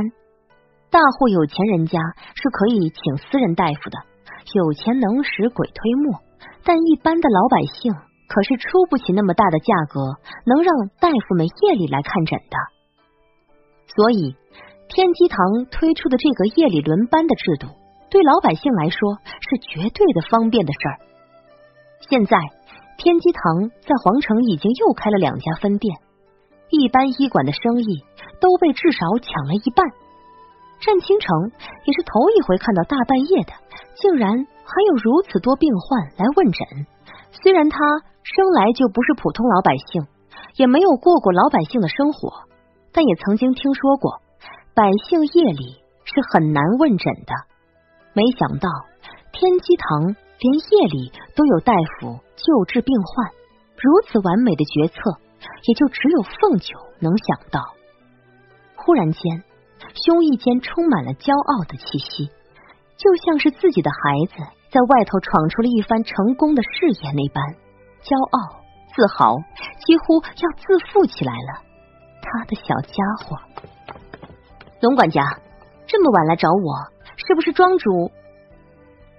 龙岩立即迎了过来，低声道：“不是庄主，是是老庄主。”这是第二次进入天下第一庄，其实只是一日之内的事情，但再来仿佛已经过了一个世纪这般长久。最重要的是，今日遇到的事情实在是太多，多的连他自己都反应不过来。经历了这么多的事，见过这么多的人，这一日竟然还没有过去，简直神奇。虽然明月已经走到了头顶，但是午夜还未过去。这还是同一日之内，他第二次踏入了这座建筑雄伟的山庄。老庄主一整日都没有进食，连水都不曾喝一口。午后醒来，便一直闹着要找先生。直到现在，龙岩这话说的有点为难，毕竟是在外人面前，有些说老庄主的话还是有点难为情的。那么，老管家，我能提前先了解一下你们家庄主的意思吗？凤九问道。虽然这么问有点不礼貌，但生死攸关的事情，自然是得要先问清楚了。刚才和龙岩不在一辆马车上。又是因为龙岩太焦急，他还没有来得及询问呢。龙岩一愣，立即反应过来，忙道：“先生放心，这次庄主也是束手无策，在下寻找先生，庄主是知道的。”虽然他提出来这建议的时候，庄主一句话都不说，但是他并没有反对。庄主不反对，那就是默许了。最重要的是，老庄主身子本来就不好。要是继续闹下去，庄主自然也是当心老庄主身子吃不消的。所以这一次，凤九先生过来，绝不会发生上次的事情，更不会有性命之忧。本集播讲完毕，请您继续收听下一集。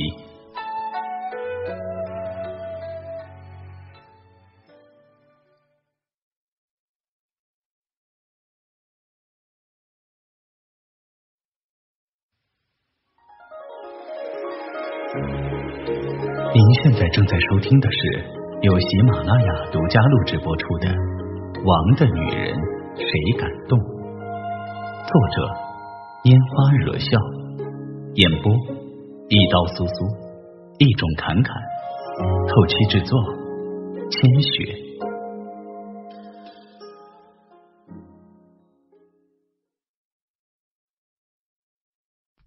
第四百七十一集，生怕凤九还有疑虑，龙颜又道：“先生，这次我以项上人头保证，绝对不会再发生今日之事。”不料，一直跟在凤九身后，从未说过半句话的男子，忽然冷声问道：“何事？”龙颜一愣，这已经不知道是第几次多看了那戴着帽子的男子数眼。他身上的气息很不一样，有时候觉得他身上没有一点点学武之人的气息，有时候又清晰的感觉到他的霸气浑然天成，武功绝对的深不可测。龙岩不知道这个人是谁，凤九也未曾解释，但是似乎连凤九都一直很听对方的话，嗯，就是听话。虽然其实凤九和那个男子。从未说过半句话，看着就像是零交流一般。但是龙岩就是知道，他们之间只是随意的一个眼神，都能够明白彼此的心意。本来他们天下第一庄是不能让来历不明的人进入的，但是既然是凤九带来的，龙岩也就不阻拦了。老庄主现在这种情况，若是再阻拦，龙岩也怕真的有什么意外。没事，只是今日过来的时候和庄主有一些误会。凤九立即回头看着九皇叔，哪怕隔着一层薄纱，也似乎能够看到对方的眼眸。他扯来一点点的笑意，努力的安抚道：“啊，一点小误会而已，但如今已经好了，爷无需在意。”他不向龙颜介绍九皇叔的身份，一则不喜欢骗人。二则也是不想节外生枝。龙管家有你的保证，我自然是安心的。还请龙管家立即带着我去看看老庄主。好，好，我我这就带先生去。龙岩也是怕多生事端，如今老庄主还在闹腾着，他也怕老庄主的身子随时会扛不住。一弯身，他恭敬道：“先生，请吧。”山茶院里，老庄主确实还在闹腾。凤九还没有进门，便就听到了老庄主不悦的声音传来：“让龙儿回来！你们这些人一个一个都想害我龙儿，我我不会让你们伤害我的龙儿的！放开，放开我！我要找龙儿。”爹，姐姐已经不在了。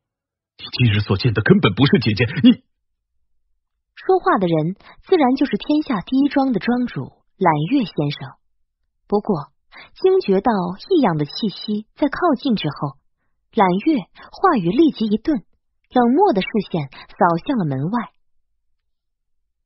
龙岩和凤九他们尚未靠近，分明都能够感受到那冷飕飕的气息。龙岩领着凤九和战倾城快步走了进去，未料。才刚进门，忽然一道冷冽的掌风转瞬即逝。揽月先生这一掌要袭击的，并非是凤九，竟是凤九身后的玄衣黑袍男子。战倾城面不改色，待那一掌快要到面前的时候，他长臂一伸，将凤九护在身后，随意的一挥衣袖，轰的一声，大厅门口处门槛爆裂。两边的墙壁粉碎性的崩塌，一时间木屑尘埃四起，吓坏了那几个伺候在侧的下人。揽月浓密的眉心蹙起，掌下蓄上了真气，又一掌就要送出。身后老庄主却趁着下人正愣之际，一把将他们挣开，快步向凤九走去。龙儿，哎呀，龙儿，你回来了。战倾城五指一紧，凤九脸色一变，立即道：“不许伤他！”那个霸气不逊的男人被凤九一声喝止之后，竟真的在瞬间将所有的真气收回，只是冷冷的瞥了揽月先生一眼，便不再理会。一个斗志被猛地激发起，正要大展身手的勇士。竟然因为这个小丫头的喝止，立即被驯服的如同一头小绵羊。两人之间这种相处方式，不仅龙颜看得目瞪口呆，就连揽月也有那么几分讶异。练武之人生平最感兴趣之事，便是与高手过招。揽月分明能够感受到自己方才那一掌已经激起了对方战斗的欲望，但凤九随意一句话，竟让他硬生生的将这份冲动给压了下去。这男子武功深不可测，可却偏偏特别听凤九的。凤九这么一个小丫头，如何能够驾驭如此厉害的高人的？因为自己父亲冲了过去。揽月也只能将掌中的真气卸掉，但依旧对凤九带来的男子满心的防备。尤其这个男子竟然戴着纱帽，不愿意以真面目示人。虽然一身尊贵的气息让人无法的与匪类联系在一起，但是如此藏头蒙面的，始终是让人心里不悦。不过此时凤九也没有心思去理会揽月的心情。老庄主已经来到面前，一把握住他的手。看到凤九的手被握住，虽然是一位老者，但战倾城身上的寒气也在瞬间变得沉重了起来。凤九就算没有回头，也明显能够感觉到九皇叔对老庄主的不友善。可人家是个年逾五十的长辈，还是一个精神有点问题的病人。他就不能宽容一点吗？再说了，他现在是凤九，又不是凤九儿，他吃什么醋啊？糟糕，竟然连吃醋这两个字都想到了。那到底九皇叔是不是早就将他给认出来了？话不说清楚，这让人疑神疑鬼的，实在是不好受啊！伸了一只脚往后一踹，他私下里警告战倾城不许乱来。才看着老庄主柔和一笑，他们说你晚膳也不吃，怎么了？是不是饭菜不合胃口？周围的人都愣住了。凤九这无理的一脚，直接让身后的男子安静如鸡，简直不可思议。老庄主一脸的委屈，龙儿不在，不想吃。好。那我现在就陪你再吃一顿，好不好？凤九竟然真的以龙儿的身份来与老庄主说话，蓝月的脸色很不好看，却又无法发作。姐姐在他心里的地位，绝不允许任何人玷污，尤其还只是一个乳臭未干的小丫头。可是老父亲却点点头，摸着肚皮道：“嗯，很饿。”和龙儿一起吃好。见状，龙颜立即道：“快，给老爷小姐上菜。”两名下人一听，立即朝膳房走去，片刻都不敢耽误。凤九牵着老庄主走到桌旁坐下，指尖顺道落在他的手腕脉门上，不动声色的给他把脉。揽月的脸色依旧是不好看。父亲大人的问题，依旧不想让不相干的人来处理。不过，这个丫头的身形如此像姐姐。不等他犹豫完毕，凤九已经给老庄主把好了脉，柔和的目光落在他身上。他淡淡道：“老庄主的身子其实没什么大的毛病，并不需要喝什么药。从前那些大夫开的方子都扔了吧。”本集播讲完毕，请您继续收听下一集。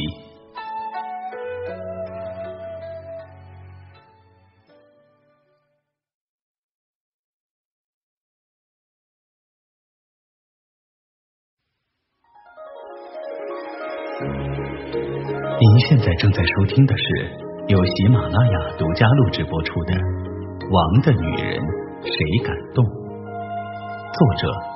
拈花惹笑，演播一刀苏苏，一种侃侃，后期制作千雪。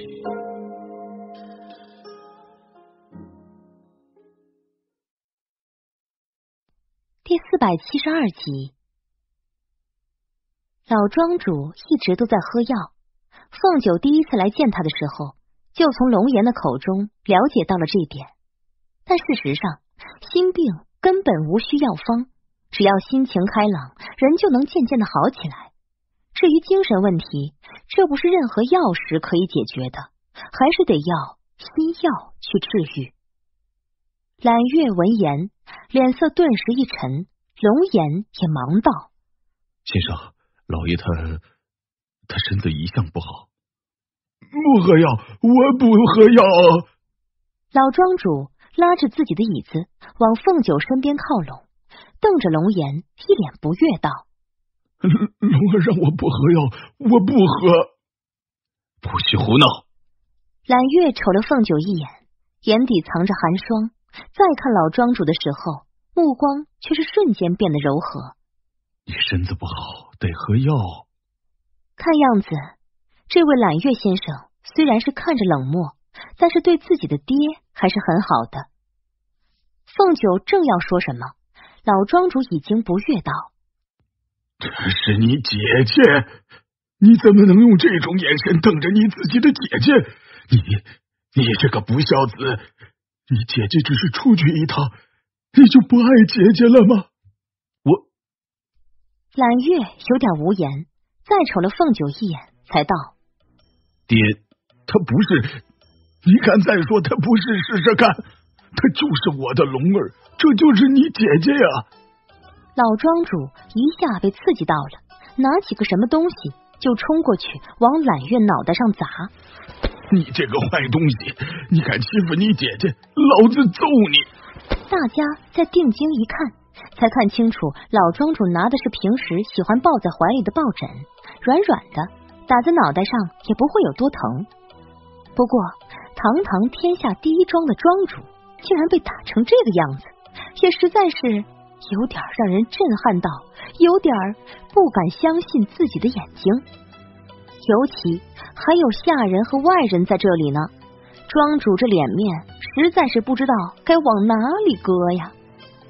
容颜当然是心疼庄主面子的，赶紧过去劝导：“老爷，老爷你别生气，庄主不是这个意思，庄主没有欺负凤九先生。虽然上次是欺负了，但这次没有啊，不是吗？”什么凤九先生？她是小姐。你怎么回事？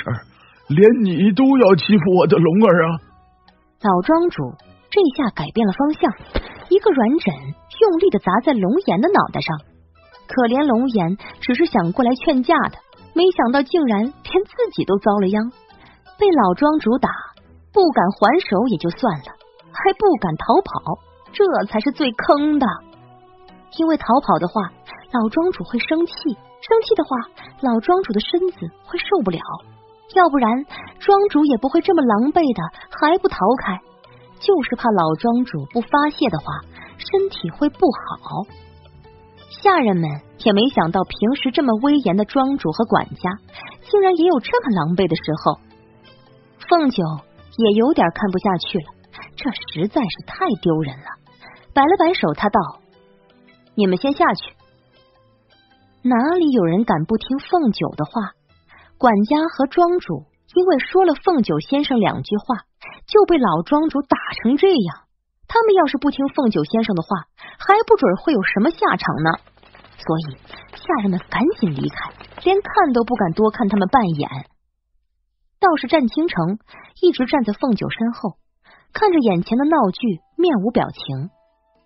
这位老庄主平日里在山庄里绝对是老大，看着揽月这个冷冰冰、铁骨铮铮的汉子，这会儿被打被骂，只能受着。虽然看起来是一场闹剧，可凤九却越看越羡慕了起来。这才是真正的父子，真正的一家人。揽月真的很爱他的父亲，这么冷的一个男人，可以让父亲打成这样，这是有多敬爱？他真的很羡慕，如果自己也能出生在这样的家庭，该多好啊！终于还是看不下去了，他走了过去，柔声道：“他们没有欺负我，别打了。”不行，这两个家伙说你不是龙儿，我打醒他们，打到他们承认为止。老庄主气呼呼的，软枕在他的手里就没有停过，一下一下打在两个人的身上，虽然不疼，但面子疼啊。凤九薄唇勾了起来，笑道：“哼，好了，别再打了。你要是再打，我我龙儿就要生气了。”这话让老庄主一下子就停了下来，回头瞪着他，激动的脸红脖子粗的。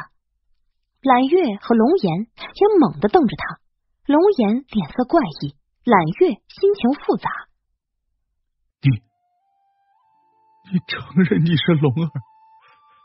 你终于承认了！老庄主那么激动，这样的激动让人心酸。凤九浅叹了一口气，想说几句话，先安慰眼前这位可爱的老人家，不想身后的男人竟然冷声道：“他如此年轻，怎么会是你的龙儿？”就凤九回头瞪了他一眼，这家伙怎么在这种时候来拆台呢？这万一将老庄主又刺激到了怎么办？反正都是假的，管他年轻不年轻，先让老庄主听话不就好了？九皇叔到底想做什么？这么不懂事的？他他怎么就不是龙儿了？老庄主脸上的红润淡去之后，再看着凤九，他确实很年轻，怎么看也不过是十来岁的光景。再看揽月。啊，儿子都这么大了，快三十了，这难道真的不是龙儿？难道他的龙儿真的不回来了？老庄主一张脸渐渐苍白了起来，揽月和龙颜看得一阵心疼，凤九也是一阵心酸，怎么能如此残忍的揭穿，让老人家这么难过？揽月盯着凤九身后这个戴帽子的男子，掌心紧握，目光越来越冷。凤九也不知道该说什么。老庄主打量他的眼神，让他清楚的看到他眼底的失望，甚至绝望。他确实还很年轻，这个时候再承认自己是他的龙儿，似乎已经不合适了。老庄主的神智虽然有点错乱。但是他也不是完全不懂事的，刚才打量了他一会儿，又打量了揽月，大概是已经分得出来，自己比揽月实在是年轻太多了。老爷，我，你，你不是龙儿，你不是我的龙儿，你不是，你不是龙儿！老庄主忽然一声大吼，急了：“我的龙儿在哪儿呢？”我的龙儿呢？揽月立即过去，将他一把抱住。爹，姐姐她已经……庄主。龙颜一焦急，这种话可不能随意跟老庄主说，会将他刺激坏的。就在大家都心急如焚的时候，凤九身后的黑衣男子淡淡道：“他不是你的龙儿，她是龙儿的女儿。”你的外孙女。本集播讲完毕，请您继续收听下一集。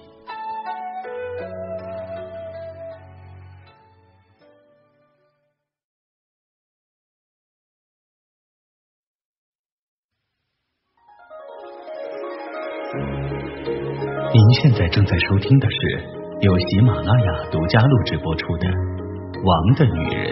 谁敢动？作者：拈花惹笑，演播：一刀苏苏，一种侃侃，后期制作：千雪。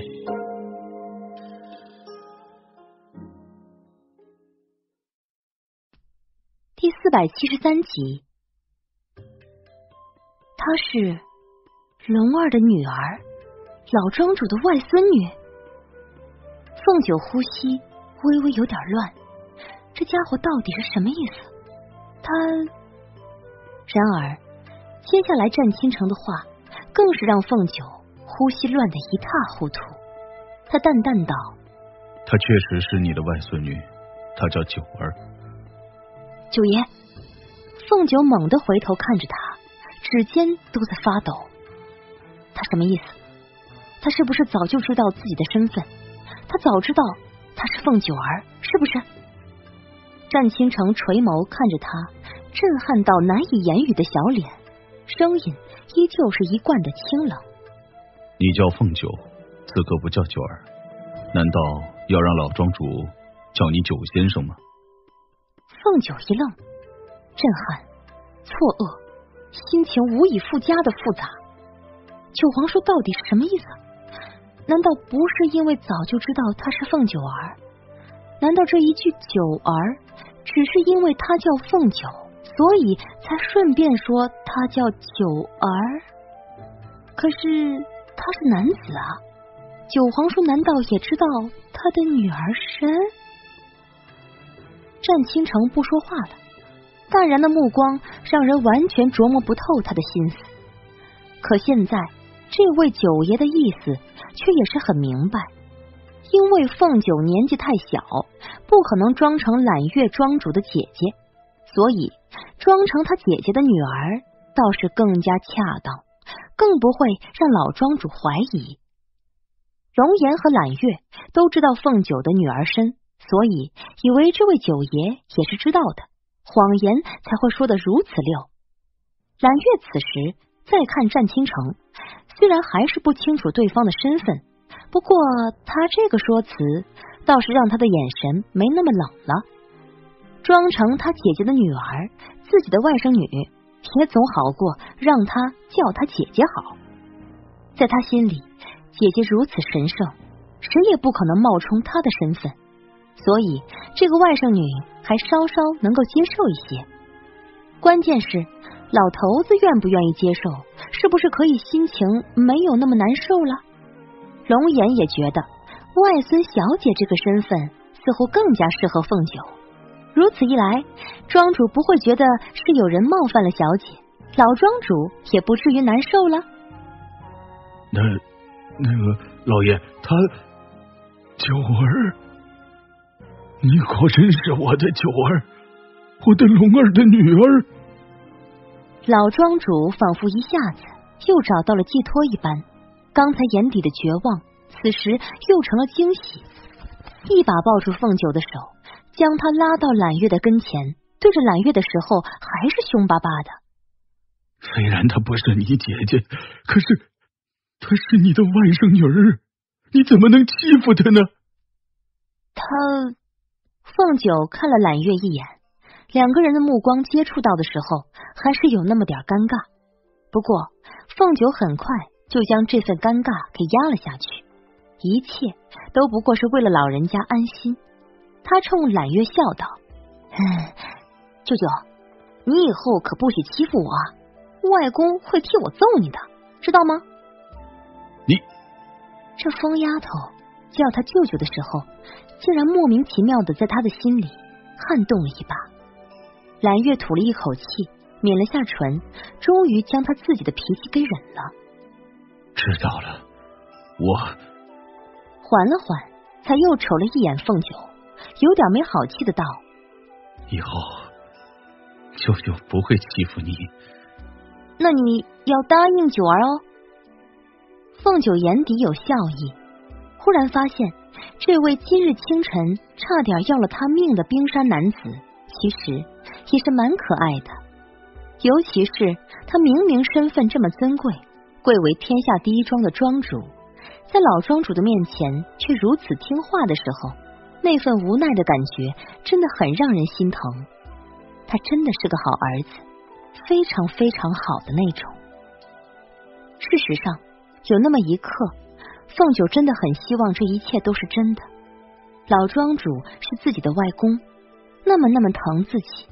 揽月先生是他的舅舅，虽然别扭，但爱着这个家，这个家里所有的人。如果都是真的，那该多好！老庄主一直紧紧抱住凤九的手，还是很激动。九儿，你你叫我外公，你再叫叫我。快叫我外公，快呀！外公，这次凤九没有半点犹豫，冲他柔柔一笑，道：“外公。”老庄主听得实在是感动的慌，紧紧的握住他的手，说什么都不愿意放开。倒是一直站在原地没有任何动静的战倾城，身上的寒气越来越重，盯着凤九被老庄主紧握的小手，一副想要发飙的模样。揽月忽然上前一步，挡住了那位九爷的视线。龙颜也轻咳了声，站在了揽月身边，同样挡住了战倾城的视线。真是的，莫不是凤九姑娘的小情人？怎么一副被人抢了女人的模样？老庄主这么大年纪了，就算是男人，对他也不可能造成任何威胁。连一个老人家都这样防备着，也太霸道了吧！大概也就只有凤九和老庄主没有注意到战倾城那一身的寒气。此时两个刚相认的人，不知道有多亲密呢。外公，你以后要听话。饭得要好好的吃，药咱们就不吃了。但是九儿给你开的膳食，你一定都要吃下去，好不好？好，好，九儿让外公吃什么，外公全都吃，外公一定听话。其实老庄主是有点不安的，所以一直握着九儿的手，就是不想放开。外公会听话的。呃。呃，九儿能不能答应外公，以后都要留在外公的身边，不要再离开了呀？虽然龙儿换成了九儿，他也不至于那么绝望，但此时此刻，老庄主是真的不安。龙儿当年离开之后，就再也没有回来了。如果九儿也离开，那九儿会不会也不会回来呢？龙颜轻咳了声。赶紧过来给凤九解围。呃，老爷，九九九儿小姐在外头还有自己的事，不能一直留在这儿。不行，不行！你给我闭嘴，别乱说话，滚滚滚开！凤九忍不住浅浅的一笑，这老人家也实在是太霸道了些，颇有些军中大将军的味道。不过龙颜说的也是有道理。他确实不能一直待在这里。握了握老庄主的手，他柔声道：“外公，九儿在外头确实还有点事情。那这样好不好？九儿以后一定会时常来看外公，你说好不好啊？”可是九儿要离开外公，外公舍不得呀。老庄主一脸的委屈。外公很想九儿，那怎么办呢？他真的舍不得让九儿离开，九儿离开之后再也不回来，他可怎么办？本集播讲完毕，请您继续收听下一集。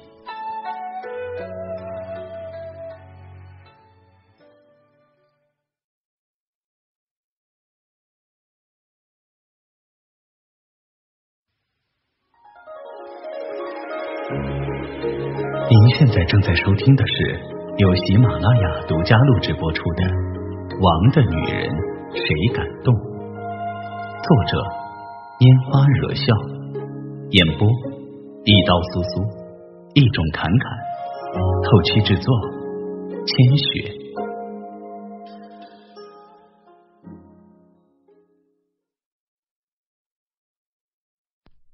第四百七十四集。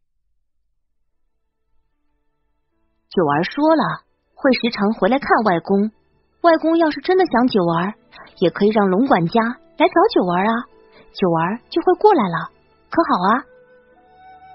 凤九的话让站在老庄主身后的龙颜赶紧摇头摆手，让他别将话说的太满。凤九是不知道他们家老爷有多任性，他这话一说出口。以后老爷一定会一天三回的请他过来吃饭的。当然，龙颜也是清楚的，人家凤九开着一家天机堂，哪来这么多的时间呢？揽月倒是不说话，只是看着凤九和老庄主在一起的画面，心情依旧是有几分复杂。这丫头的年纪，要当老头子的外孙女倒是不差。不过，老头子只有一位外孙女，而且。据闻都已经不在人世了。天下第一庄虽然在江湖上已经有不少年的时日，但他怪病缠身，这么多年几乎都是不爱出门的。再加上他们最大的山庄院落虽然就在皇城里，但是因为老爷子身子不好，这几年基本上都是放在南方度过了。也是这一年，因为某些机会才回到了皇城居住。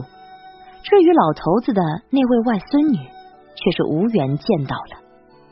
如今再看着凤九，仿佛又多了几分姐姐的味道。虽然这张脸一点都不像，但是穿上男装的凤九背影真的很像。凤九柔和的声音再一次响起：“外公，你别慌，龙管家来找九儿的话，只要九儿有空就会过来了。当然了，得要九儿有空才行。”九儿还得要做自己的事情，是不是啊？一个姑娘家，为何一天到晚在外头做事儿？老庄主揪着他这一身的男装，心里都不乐意了。你和龙儿一般，总喜欢穿这种衣裳。你要是穿女装，一定和龙儿一样好看呢。唉，似乎想起了女儿，老庄主又开始难过了起来。凤九立即安慰道：“好了，老庄主，等有机会的时候，九儿就穿红装给外公看好吗？”从天下第一庄出来的时候，月朗星疏，午夜时分已经过去了一个多时辰，再过两个时辰，天该要亮了。不知道怀着什么心情，凤九拒绝了龙颜派马车相送的提议。和九皇叔走在夜色中，反正也不算特别远，走着过去，走得快的话，半个时辰也就到了。当然，如果是施展轻功的话，要到达也就是一炷香的时间。不过，此时两个人都只是默不作声的走在路上，似乎也不考虑时间，更没有想过要用轻功什么的。凤九直到现在。心情依旧有点复杂。今晚的事情换做了别的病人，或许什么问题都没有。但这位病人，不，不是病人的问题，是牵扯上那些关系的问题。外公、舅舅，明明不是自己的外公，也不是自己的舅舅，可为什么忽然之间就像是多了两位最亲最亲的家人一般？最关键的是。九皇叔到底是什么意思？为什么好端端的说他叫九儿，又是好端端的说他是姑娘？他到底是不是已经知道了自己的身份？是真的看出来了吗？可是上次给他看到的身体明明就是男的。凤九真的觉得很烦躁，一种说不出的压抑。如果真的已经看穿了，那就说清楚。别弄得他总是在这里猜来猜去的，这种明明很多话想说，却又不知道该不该说的情况，真的让人很苦恼。他忽然住了步，回头，不想九皇叔就一直盯着他在看着。他这一回头，两个人的目光瞬间就对上了。凤九还是有点心虚，差点想要错开目光。但最后还是顶住了压力，直视他的目光。九爷，这称呼实在是很怪异。九皇叔这三个字始终徘徊在嘴边，每一次都差点直接出了口。战倾城挑眉，虽然帽子还戴在头上，不过黑纱并不厚重，两个人的视线还是可以轻易触碰到一起。凤九觉得自己的小心脏又开始狂飙了。夜深人静之际，和九皇叔你眼看我眼，哎，确实有点让人心脏负荷不了啊。原以为自己已经过了对帅哥犯花痴的年纪，可是眼前这只完全不是一般的帅哥能比拟的。他轻咳了声，也不知道该从何说起。末了，他只是道：“九爷，这条路一直走，便是通往九王府的。你不如……你去过九王府？”战倾城往前一步，垂眸看着他。他的靠近立即让他倍感压力，属于九皇叔的气息铺天盖地而来，愣是让他忘了自己刚才想要说什么。去，去过这两个字，在他回神之后立即咽了回去。他摇了摇头，没去过，只是听说过。九王爷这么出名，又得民心，我们这些百姓自然都特别崇拜。打听一下九王府在哪里，也是情有可原的事情。九爷，你说是不是啊？战倾城没有说话，只是盯着他。凤九的心里其实在微微打颤。九皇叔就是有这份魔力，他只是盯着你，什么都不说，你就觉得自己在他面前无所遁形了。他往前一步，凤九立即就后退了两步。九爷，我真的要回去休息了，明日一早还有事。好。所以他不再犹豫，举步往天机堂的方向走去。看着他傲然挺立的背影，凤九内心一阵惆怅。拿他没有办法，从他还是凤九儿的时候，就拿他一点办法都没有。除非九王爷自己有事，忙得不可开交，否则他闲下来的时候，自己就得要遭殃。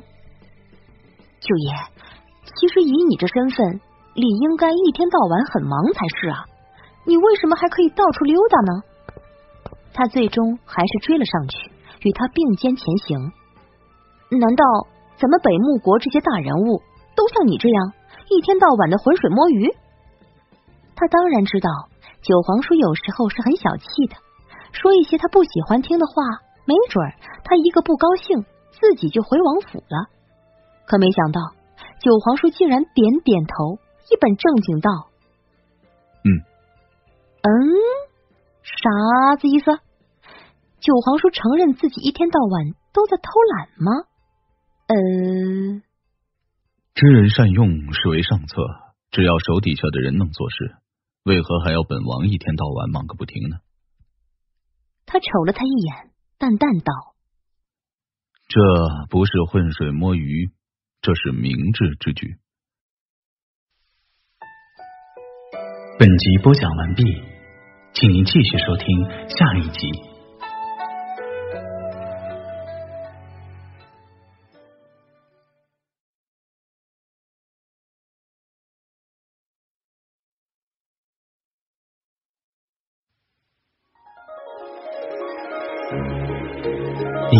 正在收听的是由喜马拉雅独家录制播出的《王的女人谁敢动》，作者烟花惹笑，演播一刀苏苏，一种侃侃，后期制作千雪。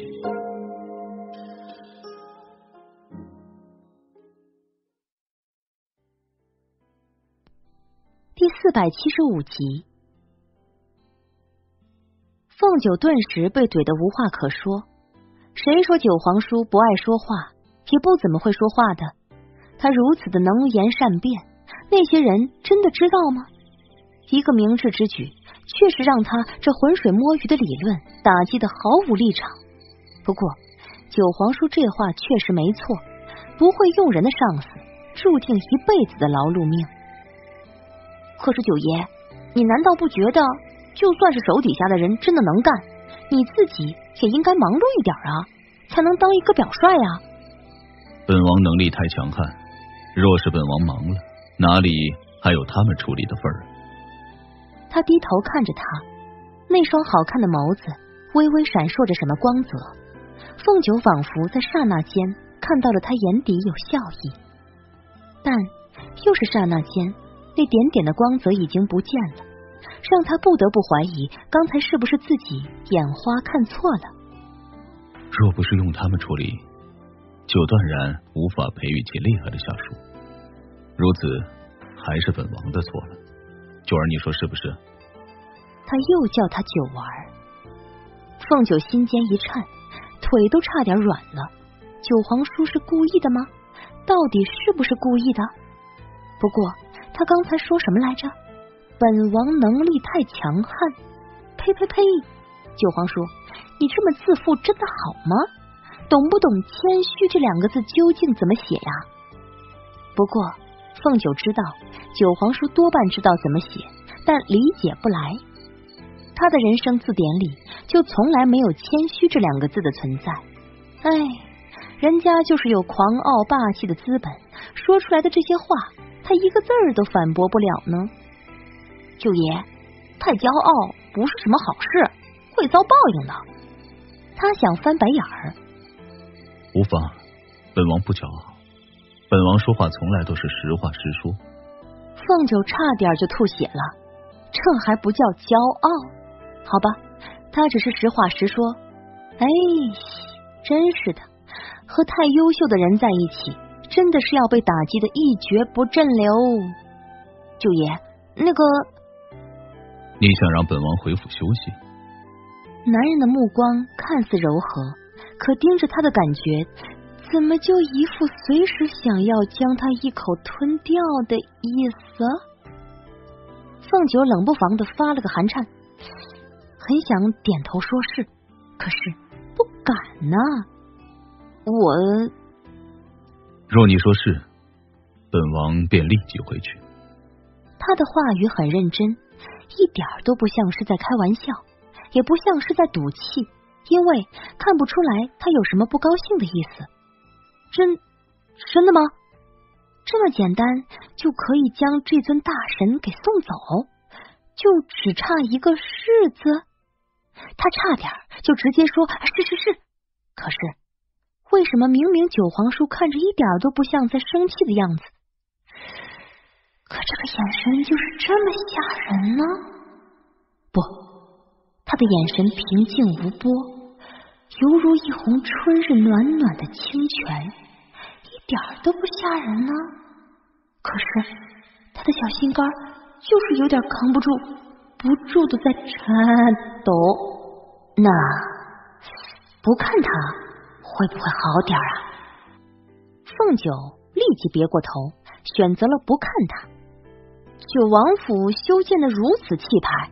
九王府的寝房也是特别的宽敞舒适，绝非天机堂可以比拟的。所以九爷，你不如回那个九爷，你想住哪里就住哪里，凤九绝对没有半点意见。这一只落在他肩头上的大掌是几个意思？吓得凤九原本的话瞬间被咽回到了肚子里，出来的就成了。以上的话语，如此甚好。九皇叔眼底泛过了一丝机不可见的笑意，对他总算是满意了。可以稍稍的委婉一些吗？别那么直接，行吗？但是刚才那算什么事啊？为什么放了一只大掌在他的肩头上？这不是摆明着是在威胁人吗？九爷，本王最讨厌出尔反尔之人。他脸色微沉，凤九微微缩了缩脖子。那若是有人在你面前出尔反尔呢？剥光他的衣服，丢在床上。不，男人怎么办呢？一想到九皇叔扒光一个男子的衣裳丢在床上。他就差点想爆笑。当然，前提是那人是本王心仪的女子。他又补充了一句：“他心仪的女子。”凤九心尖儿又颤抖了一下，再颤抖一下，无限的猜测。最后勉强的压下心中的胡思乱想，他道：“那若不是九爷心仪的女子呢？”那就将他剥光，绑起来，命人送到街上游行。那个九爷，咱们天机堂的寝房或许不如九王府的宽敞，但也是可以很舒适的。嗯，他干笑了声，整个人彻底萎了。如此甚好。战倾城继续往前走，这次是分岔路，当然去的是天机堂的方向。九王府什么的，就算再宽敞、再舒适，少了什么人，也就彻底没有吸引他的地方了。凤九觉得分明是自己挖了个坑，将自己给埋了。他是想要被九皇叔扒光衣服丢在床上，还是被九皇叔的人扒光衣服绑着去游街呢？好吧，两者都不想要，只能和九皇叔一起回天机堂。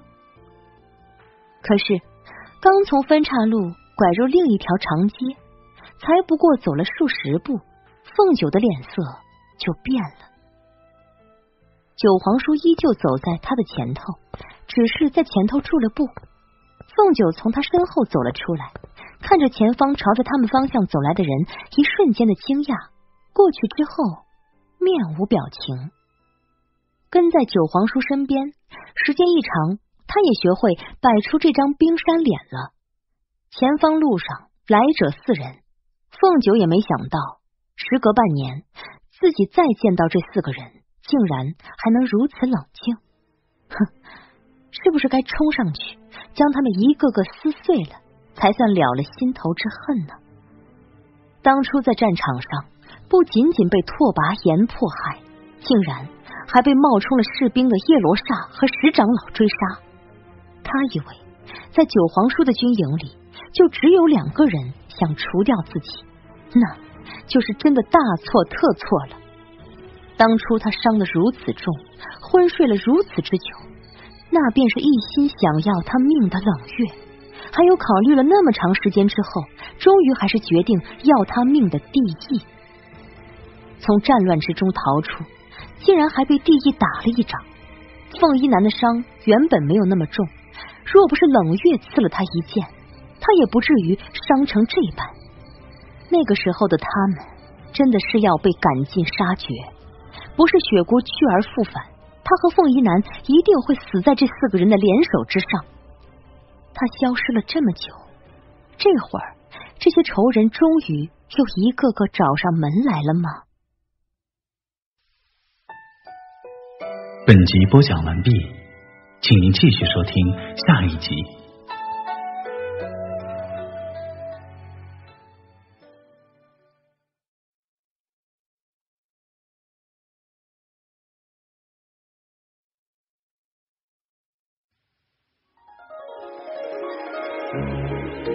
您现在正在收听的是由喜马拉雅独家录制播出的《王的女人谁敢动》，作者拈花惹笑，演播一刀苏苏，一种侃侃，后期制作千雪。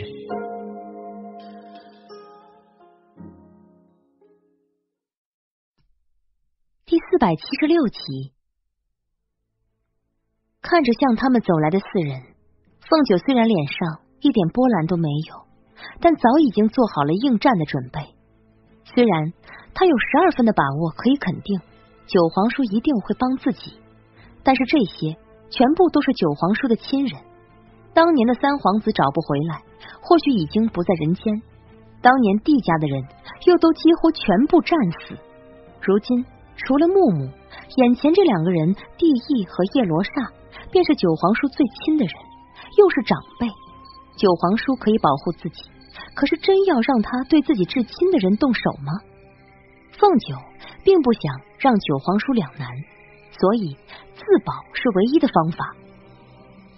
但他没想到的是，这几个人的目光在自己身上一扫而过之后，竟然全部都集中在战倾城的身上。爷夜寒露重。还是随我们回去吧。石长老态度是绝对恭敬的，只是战倾城根本不愿意多看他半眼。要说这里和九皇叔最没关系的，便属这位石长老了。再加上当初是石长老对自己下的蛊，所以凤九其实知道九皇叔心里是很讨厌石长老的。叶罗刹也不过是看了凤九一眼，便上前两步。看着战倾城道：“这一次我们回皇城，前景未知。阿九，先回去吧。原来只是来劝九皇叔回王府的。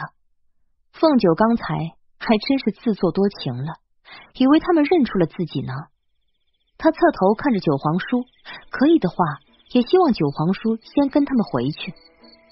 虽然眼前这四个人都是自己的仇人，但是如今一男的腿还没有好，盐和自己的蛊毒又尚未被除去。总之，这个时候带着一屋子的伤兵，他还不能和这些人正式开战。但讨回公道那一日，绝对不会太长。等蛊毒彻底除去，等凤一男能站起来，到时候天机堂一定会找他们算账。九爷，既然你的人来了，在下先回去了。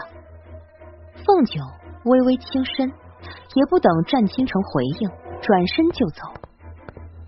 虽然这条路回天机堂是最近的捷径，但若是要施展轻功，就算走一条远点的路，也费不了多少时间。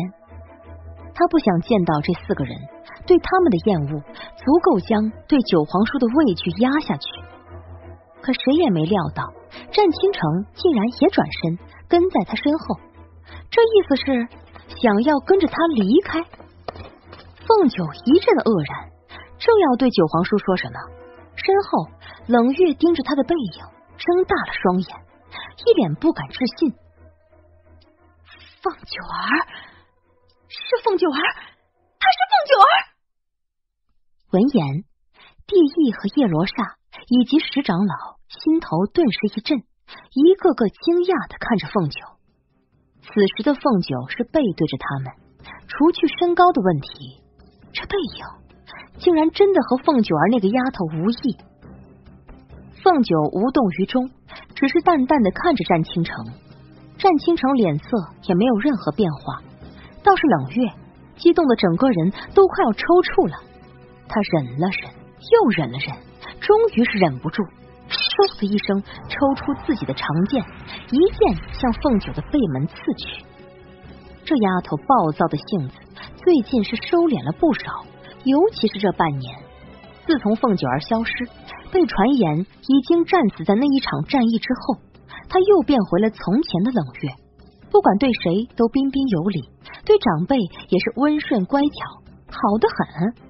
却不想，原来在他的心里，一直活在了凤九儿的阴影中，根本就没有走出去。如今见到一个背影和凤九几乎完全无异的人，冷月就失控了。他如此失控，也是有点出乎其他三个人的预料。不过，大家也都没有出手阻止的意思。凤九儿的武功，他们每个人都见识过。至少眼前这少年一出手，他们或许就立即能够看出他是不是凤九儿。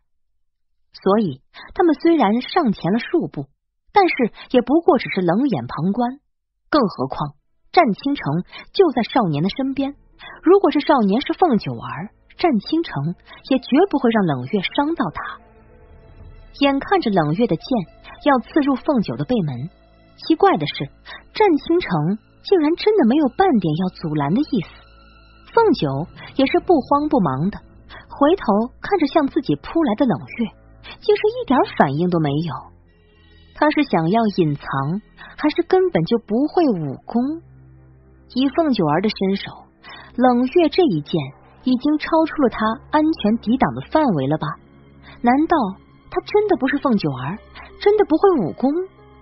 可就在冷月手里的长剑的剑尖快要刺中凤九的时候，忽然凤九随手一弹，只听到当一声，凤九的指尖弹在了冷月的剑尖。这门猛烈的一剑，如此快准狠的一剑，竟然就这样被白衣少年轻易的震开，如此内力，简直让人惊艳。冷月在江湖上。也能算得上是个高手，但若不是凤九手下留情，他手里这把长剑已经脱手了。凤九儿的武功怎么会忽然变得这么厉害？不可能的！冷月不甘心，唰的一声，手腕一转，长剑瞬间向着凤九的腰身刺去。凤九却始终是不慌不忙，见招拆招，倒也没有要攻击冷月的意思。却也没有让冷月占到任何的便宜，偶尔还会以掌风在冷月身上弄下来点什么东西，例如他的耳环、他的发簪、他脖子上的链子，甚至他的外衣。这不疾不徐、不惊不乍的模样，平静的毫无波澜，看似没有伤害的意思，可事实上却羞辱至极。帝意在一旁看得有几分恼火了。冷月怎么说都是他一手调教出来的义女徒儿，如今竟被人如此羞辱，能忍吗？正要出手，却忽然听到身边一人冷声道：“冷月，你退下，我来领教一下这位小兄弟的高招。”连石长老都拦不住，叶罗刹的身影已经斜斜掠了出去。虽然冷月还是不甘心，但是既然叶罗刹也出手了，他若是再纠缠，就算是赢了，也是胜之不武了。更何况自己明显是打不过眼前这酷似凤九的少年的，自己不退下的话，叶罗刹没准会住手不帮忙。好歹是长辈，总不能以多欺少。自己继续打下去，叶罗刹就没有用武之地了。所以。他狠狠的瞪了凤九一眼，狼狈的退到一边。再看自己身上，竟然连外衣都没了，真是越看越恨。叶罗刹武功这么厉害，最好将这疑似凤九的少年剥下来一层皮。本集播讲完毕，请您继续收听下一集。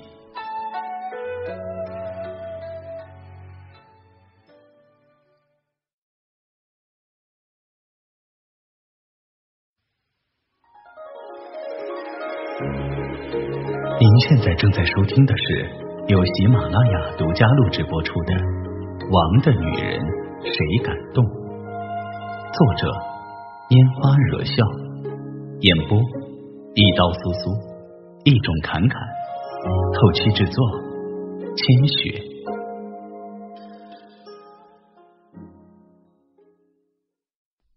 第四百七十七集，你还回来？帝意瞅了冷月一眼，心里也是不舒服。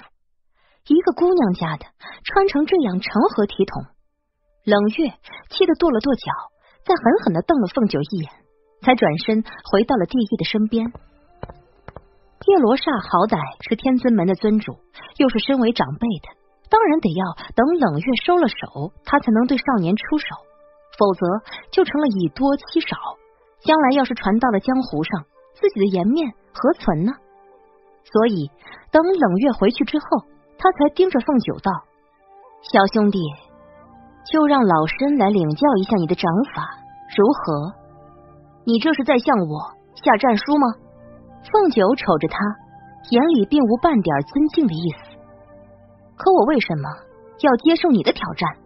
我还不至于无聊到吃饱了撑着没事干。叶罗刹一愣，没想到他竟然会拒绝。都到这种地步了，就算他拒绝，这一战又能躲过去吗？可再一想，他一张脸顿时变了颜色，变得十分不好看了。这臭小子，或者是臭丫头，这是在讽刺他吃饱了撑着。还有，凤九的话并没有这样停下来，一直是盯着叶罗刹，目光分明带着几分厌恶。哼，你们这种人，动不动就对人出手。还不许人家拒绝，自以为自己可以掌控天地。事实上，要我说，真的是吃饱了撑的。别人为什么要应战？被你打一顿，别人欠你的吗？就算是打你一顿，人家也得不到任何好处。那为什么还要跟你打？你自己手痒无处发泄，你找你男人发泄去，找我这种小鲜肉做什么？他撇撇嘴，这一次厌恶更重了，还一脸的嫌弃。抱歉，我这个年纪又青春俊逸的青年才俊，对你这种老黄花真的没什么兴趣。你能别缠着我吗？你叶罗刹从来没有听过这么放肆的话，是因为从来就没有人敢。至于那些有资格跟他如此站着说话的人，怎么着也是有身份有地位的，又有哪个有身份有地位的人说话会如此轻佻？这样的挑衅，对叶罗刹来说还真的是头一遭。我怎么了？我也不过是说实话而已。我对你没兴趣，就是没兴趣。你总不能逼着我喜欢你吧？凤九瞅了他一眼，似乎在打量，最后捏了捏鼻子。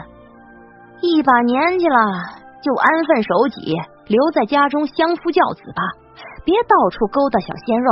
你不觉得可耻？我还觉得恶心。你，你找死！这下叶罗刹哪里还忍得住自己的怒火？这家伙口口声声说他勾搭他，说多嫌弃他。他什么时候想勾搭人了？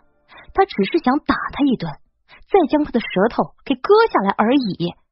这样的嘴贱，说他不是凤九儿，还真的让人不信。可他刚才与冷月交手，看着又不可能是凤九儿。要知道，离他们最后一次和凤九儿交手，那死丫头的武功也不过就是那样。短短半年的时间，绝不可能进步的如此神速。不过，不管他是不是凤九儿，如今叶罗刹被气到这个份上，这一战绝不能打。所以他连招呼都不打了，呼的一声，一掌就照着凤九的面门拍去。竟然敢说自己长得俊逸，敢因此而嫌弃他，这种黄毛小子，他怎么可能看得上眼呢？简直就是不知天高地厚。今日就算不杀了他，也得打得他满地找牙，跪在地上向他磕头认错。叶罗刹出手，掌风明显比冷月要厉害太多。周围地上的枯枝败叶被他的掌风卷了起来，就像是卷起了巨大的网，一同扑向凤九。坐在轮椅上的地翼握着轮椅的扶手，指尖微微收紧。所有的注意力都在凤九的身上，他也是不确定这少年到底是不是凤九儿。如果叶罗刹可以一试真假，他自然也是赞成的。不过这少年一张嘴，确实是太能说了些，如此跟叶罗刹说话，不是自掘坟墓吗？当然，他也想看看战倾城到底有没有要出手相助的意思。凤九儿的武功。自然是万万比不上叶罗刹的，而叶罗刹如今又被气成这样，一旦动手，若他真的是凤九儿，无人相救的话，他必死无疑。天涯会忍得住不救一把吗？他是绝对舍不得看到凤九儿受伤被欺负的。天涯到底会怎么做呢？地义的目光最后落在了战倾城的身上，一切不过只是电光火石之间。叶罗刹的掌力藏着巨大的真气，就连空气也似乎被他醇厚的内力击打出啪啪的声音。狂风卷向白衣少年，已经到了千钧一发的地步。可战倾城却已经安静的站在一旁，只是看着两人，似乎真的没有半点要出手相助的意思。难道这白衣少年真的不是凤九儿？终于。白衣少年出手了，他眼眸里印着叶罗刹的影子，长袖轻拂。相较于叶罗刹的掌力，他送出去的掌风似乎弱得可怜。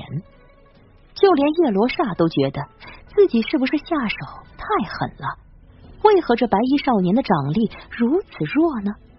这么一来，自己这一掌必然会要了他的性命。若是换了别个，叶罗刹或许会心软那么一丢丢。或许会收回一点真气，可这该死的少年，刚才的话确实是太无理，不狠狠的教训他一顿，如何泄他心头之恨？轰的一声，双方的掌力触碰到了一起，周围的空气就像是凝固了一般，那些被卷起来的枯枝败叶停在半空，如同被浇筑了一样。片刻之后，又是轰的一声。一道身影斜斜飞了出来，啪的一声落在地上，竟然是叶罗刹被击飞了出去。这这，地翼都差点忍不住从轮椅上站了起来，可惜他站不了。但这份震撼实在是无法用言语来形容，这简直简直让人不敢置信。他不是凤九儿，绝对不是凤九儿。短短半年的时间。凤九儿是绝对不可能武功进展到这种地步的，他只是一个身形和凤九儿有那么一点点相似的年轻男子而已。如今再看，这身高也分明是不一样。这个少年比凤九儿要高上不少。石长老也是没有料想到，愣是怔愣了好一会儿之后，才变了脸色，快步冲了过去，将叶罗刹从地上扶了起来。公主，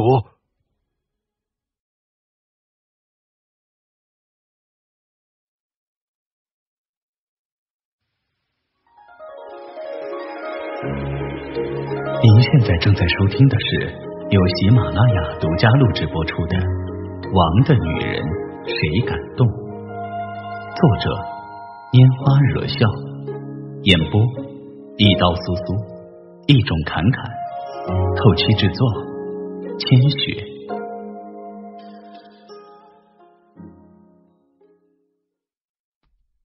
第四百七十八集。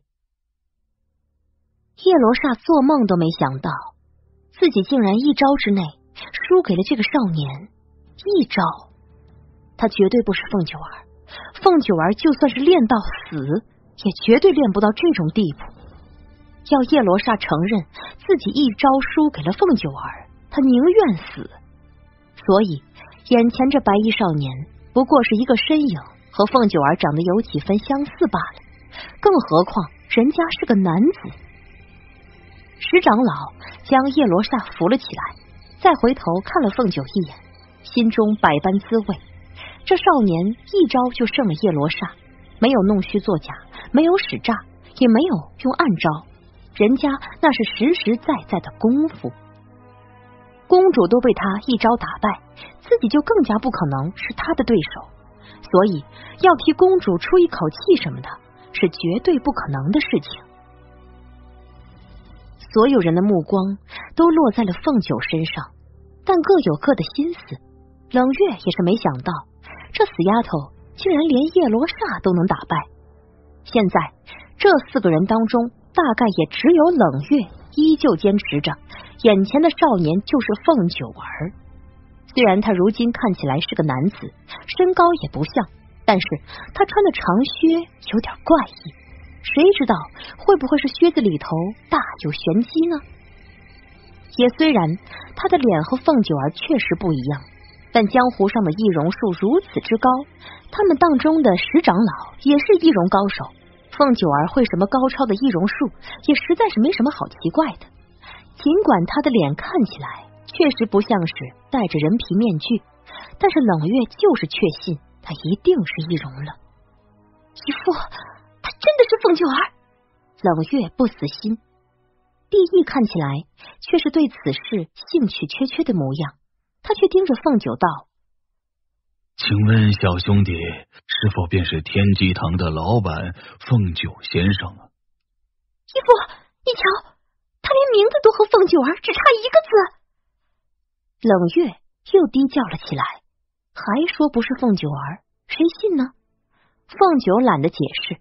这个女人，他也不放在眼里。有本事打赢她再说。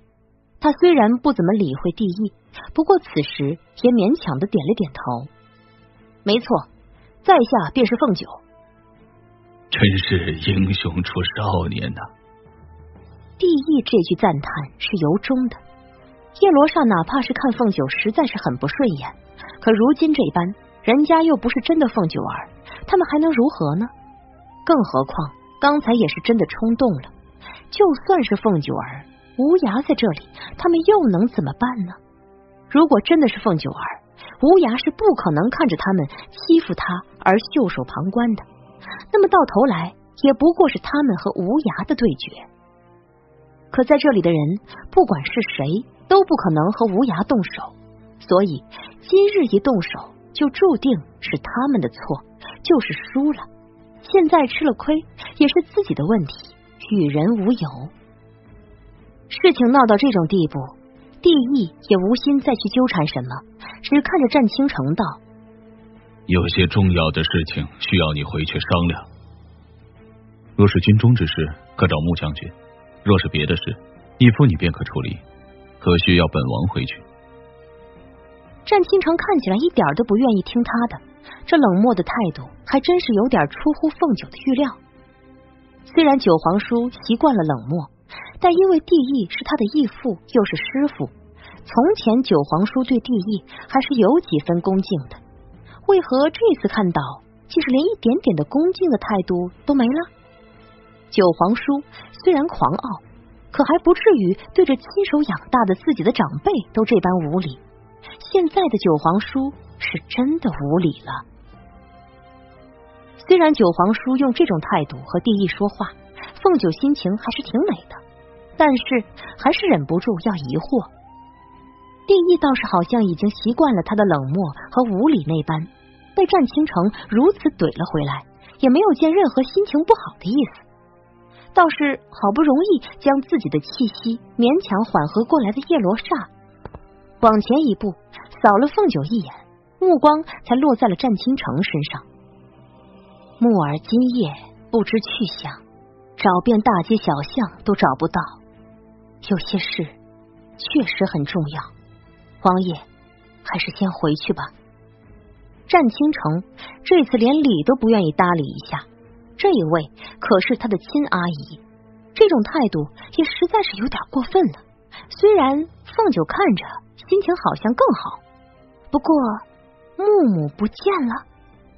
他侧头看着战倾城，也不知道木木不见了究竟是什么意思。但现在的木木是什么情况，他一点都不清楚。如果木木还没有恢复记忆，总觉得失忆之后的木木有点像孩子。没准在外头就被人拐带了，所以还是早点将他找回来的好。我今夜太累，无法给王爷推拿，王爷不如先回王府吧。他柔声道。战倾城哼了哼，扫了他一眼。凤九当然知道，他就是不满意自己总是将他推出去，但是现在不是还有重要的事情等着他去处理吗？凤九心知肚明。如果事情不是那么重要，这四个人不会一起出来找他的。虽然他不喜欢眼前这四个恶人，但是他对九皇叔的事情依旧是关心的。王爷，下回再见，我给你做好吃的，如何？战倾城还是有点不高兴，这分明就是在赤裸裸的哄他回去，一点想要挽留他的意思都没有。不过想了想。他总算是妥协了，一言为定。这道高大的身躯在他面前晃过，转身往路的另一个方向走去。他总算愿意回府了。帝义和叶罗刹都松了一口气，却又忍不住多看了凤九一眼。这少年竟然可以让无涯改变主意，也是真的了不起。不过，人家确确实实不是凤九儿。无涯喜欢跟他相处，多半是看中了他酷似凤九儿的身影。想一想，如此也不一定就是什么坏事。一想到之前的半年，九王爷疯了似的到处去寻找凤九儿，连自己的身体都不顾，那疯狂的举动实在是让人很担忧。现在他虽然找不到凤九儿，却找到了一个感觉像极了凤九儿的人，至少。人是愿意安定了下来了，总好过还要到处去寻找凤九儿，日夜不分。最重要的是，凤九是男子，他们以后顶多就又是手足之情。只要凤九不作妖，留着他也无妨。叶罗刹看了帝意一眼，帝意点点头，叶罗刹这才又狠狠的瞪了凤九一眼，走了。帝意。见冷月没有任何动静，便提醒道：“走吧。”本集播讲完毕，请您继续收听下一集。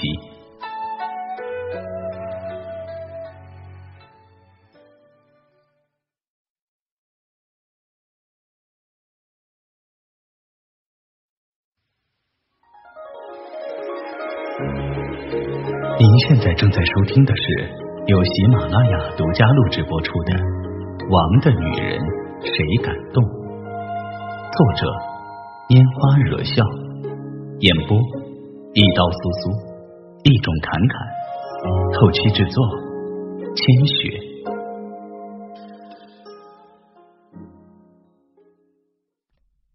第四百七十九集，地义已经在催促冷月离开，冷月却依旧只是盯着凤九，一点反应都没有。他是凤九儿，他绝对是凤九儿。刚才尊主竟然听他的话，试问这个世上有多少人可以真的劝得了尊主？从冷月认识战倾城到现在十几年了，尊主一意孤行的事情。真的没有任何人可以将他劝服的，就连义父都不可以。直到大半年前，忽然就冒出来这么一个女子，她竟然就能够做到连义父都做不到的事情。每次尊主闹脾气，甚至是心情不好、心里闹别扭的时候，就只有凤九儿可以将他劝服。明明就像是哄小孩那般，别人看着就觉得幼稚，可是他们家尊主就是吃这一套。只有凤九儿，可现在竟然莫名其妙的又多了这么一个凤九，这算什么意思？这么明显的信号，义父和叶罗刹都没有看出来吗？凤九分明就是凤九儿，否则尊主怎么可能会让他哄得如此听话？月儿该回去了。帝意见冷月一直不动，便加重了声音。冷月终于是清醒过来了。狠狠的咬了咬唇，见战倾城已经走远，他也只能推着帝意离开了。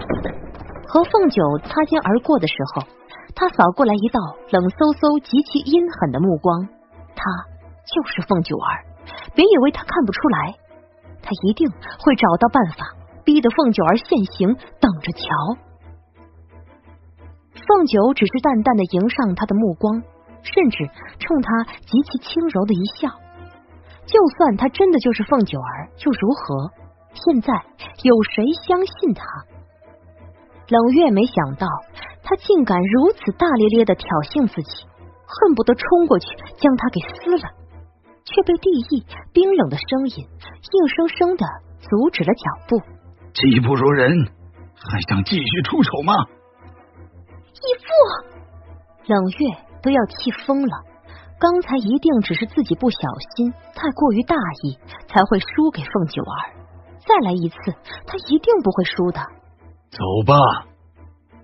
地意一拍轮椅的扶手，这次不需要冷月去推，轮椅也飞快的往前滚了出去。冷月只能咬着唇，快步追了过去。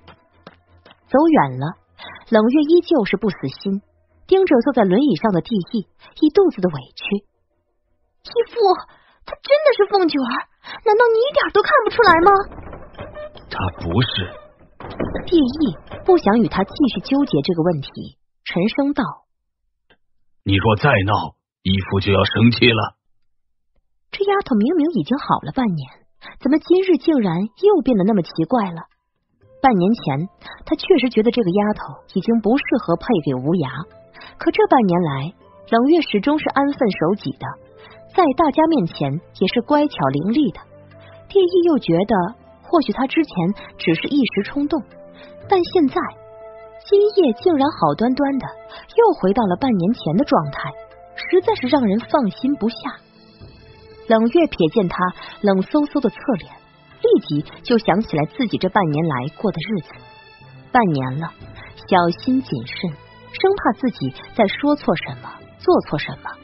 在每个人面前都表现的如此温柔柔顺，她当了半年的贤惠女子，今夜也不知道怎么又开始失控了起来。一切都要怪凤九儿那个贱女人，但如今确实不能再让义父生气，毕竟将来自己是不是能够嫁给尊主，义父的意见作用可是很大的。他至少先不能失去这个大靠山。抱歉。义父，我只是有点太震撼了。一瞬间的时间，他又恢复了温婉的模样，浅笑道：“只怪那位凤九先生的身影太像九儿了，呃，是月儿错了。”人都走了，凤九才举步往天机堂的方向过去。今夜见到这些人，心里多多少少有点烦躁。不过，一想到九皇叔如今的处境，倒也没有那么暴躁了。其实最烦躁的是九皇叔，不是吗？九皇叔明显对这些人有意见，可却因为叶罗刹和帝意与他的关系，一个是亲姨，一个是亲叔。如今他父母不在，除了木木，他们两个便是他最亲的人。九皇叔能如何？九皇叔的无奈才是真的让人心疼。夜很深，午夜早就过去。抬头看了眼愈发浓郁的月色，凤九收敛起了杂乱的心思，加快步伐，施展起了轻功，很快就回到了天机堂的后门。从后院进去，还能够隐隐的感受到一个护院的气息。不过，以凤九现在的轻功修为，他若不想惊动任何人，这几个人也是不可能发现他的行踪的。今夜有几分烦躁。不想解释，所以他没有惊动任何人。那四个人急匆匆来找九皇叔回去，是不是又出了什么大事？是难题吗？木木究竟去了哪里？他现在到底怎么样了？半年了，有什么伤也都该好了，是不是？快到卧房的时候，凤九却忽然气息一敛，脚步收了回来。房间里有人。气息沉稳，没有任何杀气，甚至没有一点点的敌意，只是这份感觉竟然说不出的熟悉。他，凤九在驻步片刻之后，忽然加快步伐将房门推开。他还没想到要应该用什么样的心情来面对这家伙，甚至还没有想到说辞呢，要如何去否认或者解释，更没有想到他为什么会来这里。但。就在他什么都没想好的时候，这家伙忽然从椅子上一跃而起，掌风瞬间袭来，无声无息。若是换了过去的凤九，大概被人一掌拍死了，还不知道发生了什么事。半年不见，他的武功又进展了不少。本来就是绝顶高手，如今的内力更是高深到无法想象的地步。凤九随手将房门关上。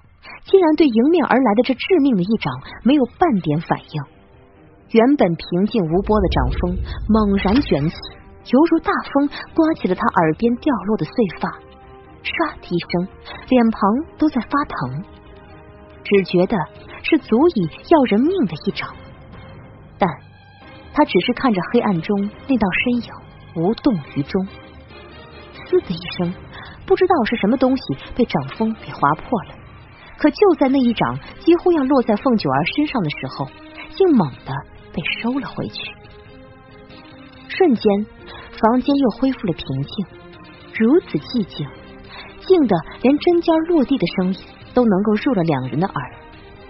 不，落地的不是针尖，而是他的发簪。长发滑落，犹如黑色绸缎，丝丝缕缕，顺滑无比。夜色中，凤九一张脸依旧像男子，可这一头青丝却绝对是属于他的，属于真正的凤九儿。本集播讲完毕，请您继续收听下一集。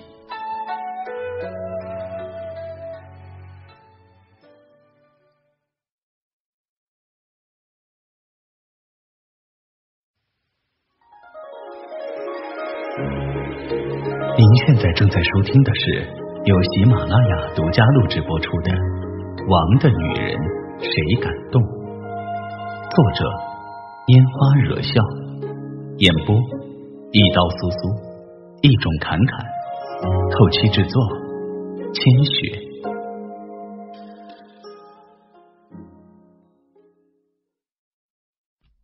第四百八十集，他有点无奈。自己的武功虽然进步神速，但在九皇叔和木木面前还是不够看。既然不够看，何必还要还手呢？木木如果真的有心伤他，如何反抗始终也是要受伤的。木木若是无心，那么反抗又有什么意义呢？房间里的烛火并没有点亮，但对于两个绝顶高手来说，仅凭窗外那点月色。也足够让他们看清楚彼此的脸，甚至脸上的表情静静得如此可怕。不知道过了多久，低沉的男声才缓缓的响起：“九儿。”他没说什么，走到一旁将烛火点亮。那一头青丝，在他回眸的时候，瞬间映入眼帘。一刹那，眼眶几乎都要湿了。满头白发，道尽了多少沧桑？究竟是自己的错？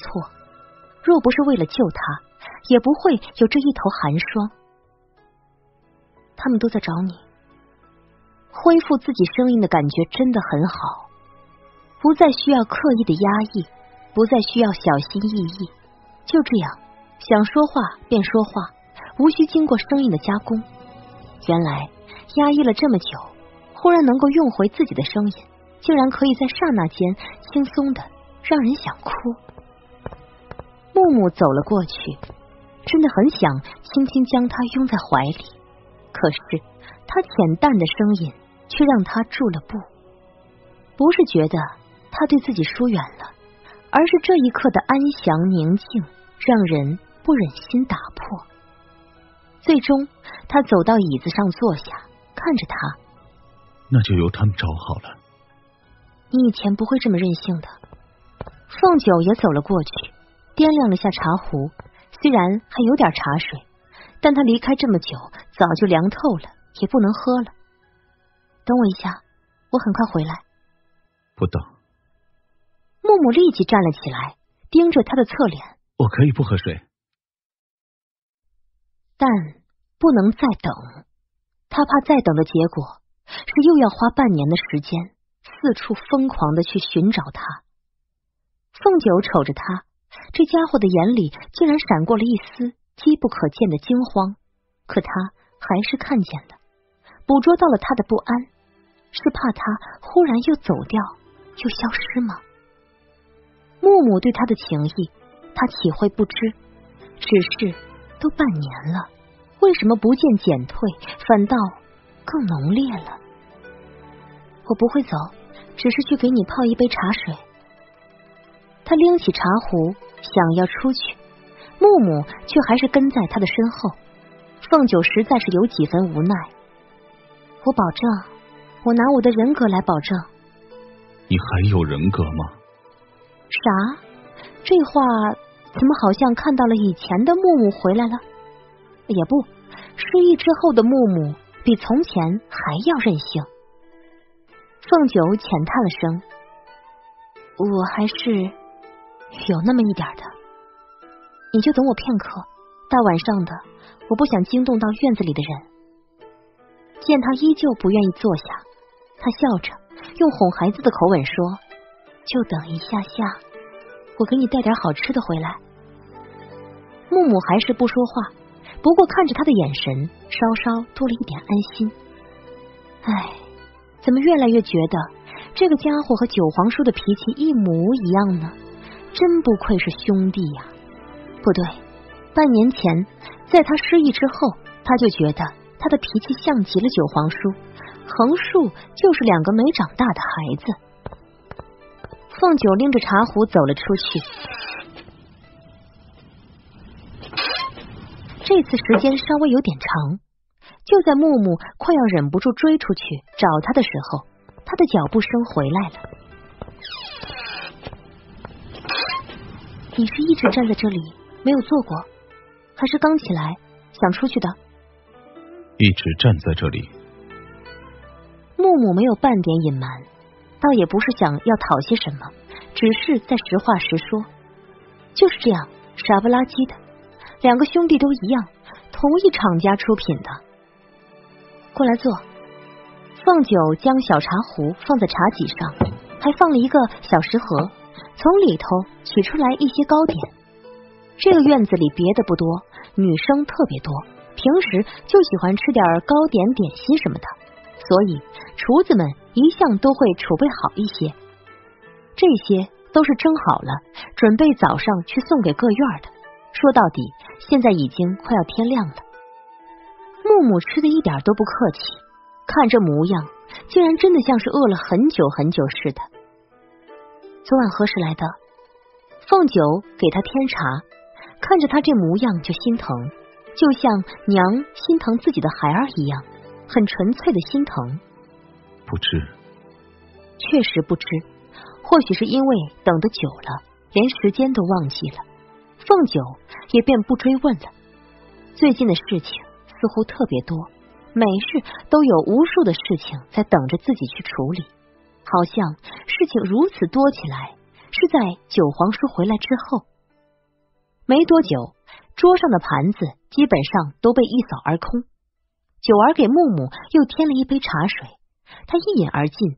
过了会儿，才道：“这半年，他一直在找你，找的很是疯狂。”他差点就脱口而出问道：“那你呢？”毕竟木木如今的脸色看起来实在是不那么好看。和九皇叔第一夜来到这里找他的时候一样，脸上泛着点点疲惫的惨白，就像是很久很久没有好好睡过觉似的。九皇叔那夜睡过之后，第二日脸色就好看了许多。那他呢？不过如今离天亮大概不到一个时辰了吧？别说了，你要不回去好好休息，要不就在这里歇息片刻，天亮之前。我喊你离开，我不睡。睡着了，便再也见不到他了。就算现在这张脸不是九儿的，但是人确确实实就是九儿。看着不属于他的脸，感受着他的气息，也是很好。你看起来很困的样子。凤九试图劝他，不睡。木木就是这么固执，虽然眼皮确实有点沉。也不知道为何，来到他的身边，就开始意识到了疲惫和困意，但就是舍不得将时间浪费在睡觉上。那好，你躺在长椅上，我们聊聊天。凤九将茶几上的东西稍微收拾了一下，指了指不远处的长椅。这一次，木木没有拒绝，立即往长椅上一躺。刚躺下去，便感觉到了深沉的困意铺天盖地袭来。他终于还是闭上了眼睛，可那两片微凉的薄唇依旧是不愿意妥协。我就闭上眼，我不睡。怎么有种小孩子在说赌气话的感觉呢？在外头的时候，一个个沉着冷静，是让敌人。闻风丧胆的战神王爷、铁血将军，在他这里却都成了幼稚鬼。九儿在香炉上放了一点药粉，香炉的烟雾袅袅升起，连他都几乎开始有那么一点点困意了。